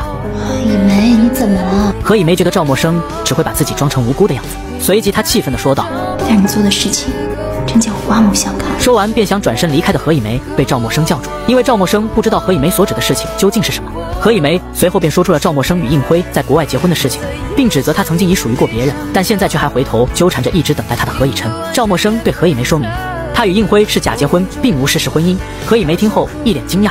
赵默笙解释，那时候是为了收养一个无人看管的孩子，不得已而为之。何以梅这才知道，原来自己被应辉当成了棋子，故意为了挑拨两人之间的关系。想到自己的种种作为，她心怀愧疚，沉默的离开。她对自己很失望，她不明白自己为何会变成如今的样子。赵默笙把何以梅心情低落的事情告诉给何以琛，他想让何以琛想想办法。而何以琛晚些时候来到客厅里何以梅的身边坐下，何以梅心怀愧疚的为自己所作所为道歉。这一刻的何以梅是真的打开了心结，而何以琛也告诉她，所有的事情都过去了。他们是兄妹，是一家人，他们之间永远不需要道歉。何以琛离开后，何以梅一脸淡定轻松的表情，看来她是真的已从这份沉重的感情之中解脱出来。我的妈呀！哎呀，我的妈呀！哎，你你结婚了？This is my wife，赵陌生。找陌生人结婚？怎么外国人找熟人结婚？真是。伴随着国外友人在机场出口言语幽默的热情相迎，何以琛带着赵默笙来到了国外，准备找寻证据，以备办理赵默笙与应辉之间的假结婚一事。这位外国友人名叫詹森，是加州最大律师事务所的合伙人之一。看似吊儿郎当、玩世不恭，但却是实力一流的律师，也是何以琛的好朋友。两人当年是因为一个合作项目相识，并彼此惺惺相惜。来到律所以后，詹森便对何以琛与赵默笙分析起了这件事情的突破口。从先前委托的调查公司查询的线索来看，应辉的律师在应辉的授意下，曾经的确给国外婚姻登记处的公职人员转账过一笔费用，用于离婚协议书造假的好处费。而只有获得此人的证词，这件事情才能有转机。于是几人便忙碌起来。何以琛带着赵默笙来到餐厅吃饭，看着上菜的服务生，赵默笙情不自禁地想起了自己孤苦伶仃在国外打工的日子。那时候因为他的英文不好，偶尔会把顾客的菜品记错，从而受到老板的责罚，最后只能沦落到在后厨帮着洗碗打杂，才能艰难度日维持生计。而微薄的收入让他每个月都被房东催缴房租，去超市时也只能精挑细选一些特价商品或者即将过期的食物用来充饥。何以琛听后忍不住心疼地询问赵默笙：“为什么不回国？”那时候为什么不回国？听了何以琛的询问，赵默笙不禁想起了大学时代两人分手时的场景，那是他最难过、绝望的至暗时刻。你别再来找我，我但愿从来没有认识过你。赵默笙说，他以为何以琛只要说出来的话就永远不会变，他那时以为他们俩的感情随着何以琛提出的分手已经走到尽头了。你见过吵一次架就彻底分手的案例？是我以为你就是这样的人吗？何以琛对赵默笙说道：“即使他不回国也没关系，因为他那时已经预约办理了签证。即使他不回国，自己也已经打算来到国外找到他。”赵默笙听后心里温暖的说不出来话，暖暖的幸福感在他心里挥之不去。而霸总应辉的处境也来到了悬崖边上，刚上市不久的公司就遇到财务报表造假被曝光，导致公司股价持续下跌，股东对他的信任已经达到冰点。眼下的应辉也只能全力应对公司的事情。詹森带着何以琛去找证人的相关线索，过程无关紧要，又有些拖拉剧情。咱们化繁为简，证人是个十足的赌徒，在赌场输得血本无归。詹森帮他付清了欠下的赌资，想以此来作为交换条件。但却遭到了此人的拒绝，因为他感觉自己可以在应辉那里拿到更多的好处。可詹森告知应辉的公司遇到危机，很可能会破产，眼下已是自身难保。无奈之下，走投无路的证人只好和詹森合作。何以琛带着证人的指控证词来找应辉，应辉看过之后便已知晓自己大势已去，因为自己公司的危机还处在风口浪尖上。如果再被爆出自己在婚姻关系之中有造假的事情，那他将彻底跌入深渊，再也难有翻身之日。我无法和你对簿公堂，但是这种落井下石的招数，未免有失风度。跟一个在离婚判决书上做手脚的人来谈离婚，应总不觉得可笑。此时的应辉在事业与感情之中腹背受敌，已是穷途末路。何以琛拿出已准备好的正式离婚协议书，转交给应辉。出于应辉曾经在国外时对赵默笙的照顾，何以琛也不想把事情做得太过，只要他自己同意主动签下这份协议书，那关于应辉身上所有的负面新闻和证据指控，何以琛都可以装作不知道。因为担心陌生的情绪，请务必好聚好散，不要逼我。而无路可走的应辉，眼下也只能无奈接受何以琛的提议。只不过他想在签下协议之前，再重新见一次赵默笙，和他做个正式的告别。因为你在美国帮过他，他把你当做朋友。如果应总愿意，我乐意假装不知情，让默笙认为是应总自己主动结束了这一切。即使优秀如霸总应辉一样的男人，也有心有余而力不足的时候。曾经的自己，因为是穷小子一个被初恋嫌弃。当他身为上市公司的多金总裁，以为自己事业有成可以得到一切的时候，却又遇到了一个根本不爱钱的赵默笙。还是曾经第一次相遇相识的地方，应辉邀约赵默笙来此见面，但心情却已截然不同。赵默笙表示，当初因为收养小佳，他感谢应大哥那时对自己出手相当的恩情，但是那毕竟是名义上的假结婚，他希望一切的事情可以简单的开始，并简单的结束。应辉思考片刻之后，也光明磊落的表明了自己当初的心思。他表示，当初的自己并非完全是为了帮助小佳，自己是存有私心的。因为赵默笙的善良，在相遇之时便已打动了自己。面对应辉直言不讳的表露心意，赵默笙显得有些不知所措。而如今的应辉，经过一路的争取，他已知道赵默笙的心根本不在自己这里，他也决定坦然放弃，并同意配合他签署离婚协议。我同意离婚，既然注定要结束，我也希望它结束的简单。不给你留下任何伤害。赵默笙因为应辉的成全而心生感激，应辉随即拿出衣兜之中的钢笔，签署了离婚协议。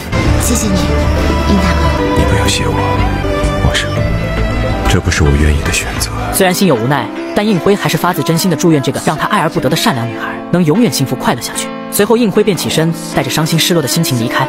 生命的路上，转角是为了遇到你，而转身只是为了那一句无可奈何的祝福。从此一别天涯远，只剩一句别离珍重留在回忆之中。而回到国内之后。两个人便发起了婚礼请柬，这让赵默笙的同事为他高兴不已。而另一边，何以琛的律所合伙人老袁和向恒也陪着他出来买西装。老袁为了提高自己的档次和颜值，也不惜花重金买下一套，并在导购人员面前开始耍帅，但却遭到了导购人员的无视。这要不是因为老袁买了一套西装，我真怕人家导购控制不住体内的洪荒之力。而就在此时，何以琛从试衣间走了出来，导购急忙热情地跑上前，言语之中一顿赞美之词。导购巨大的反差待遇让老袁看后愣在原地，一脸蒙圈。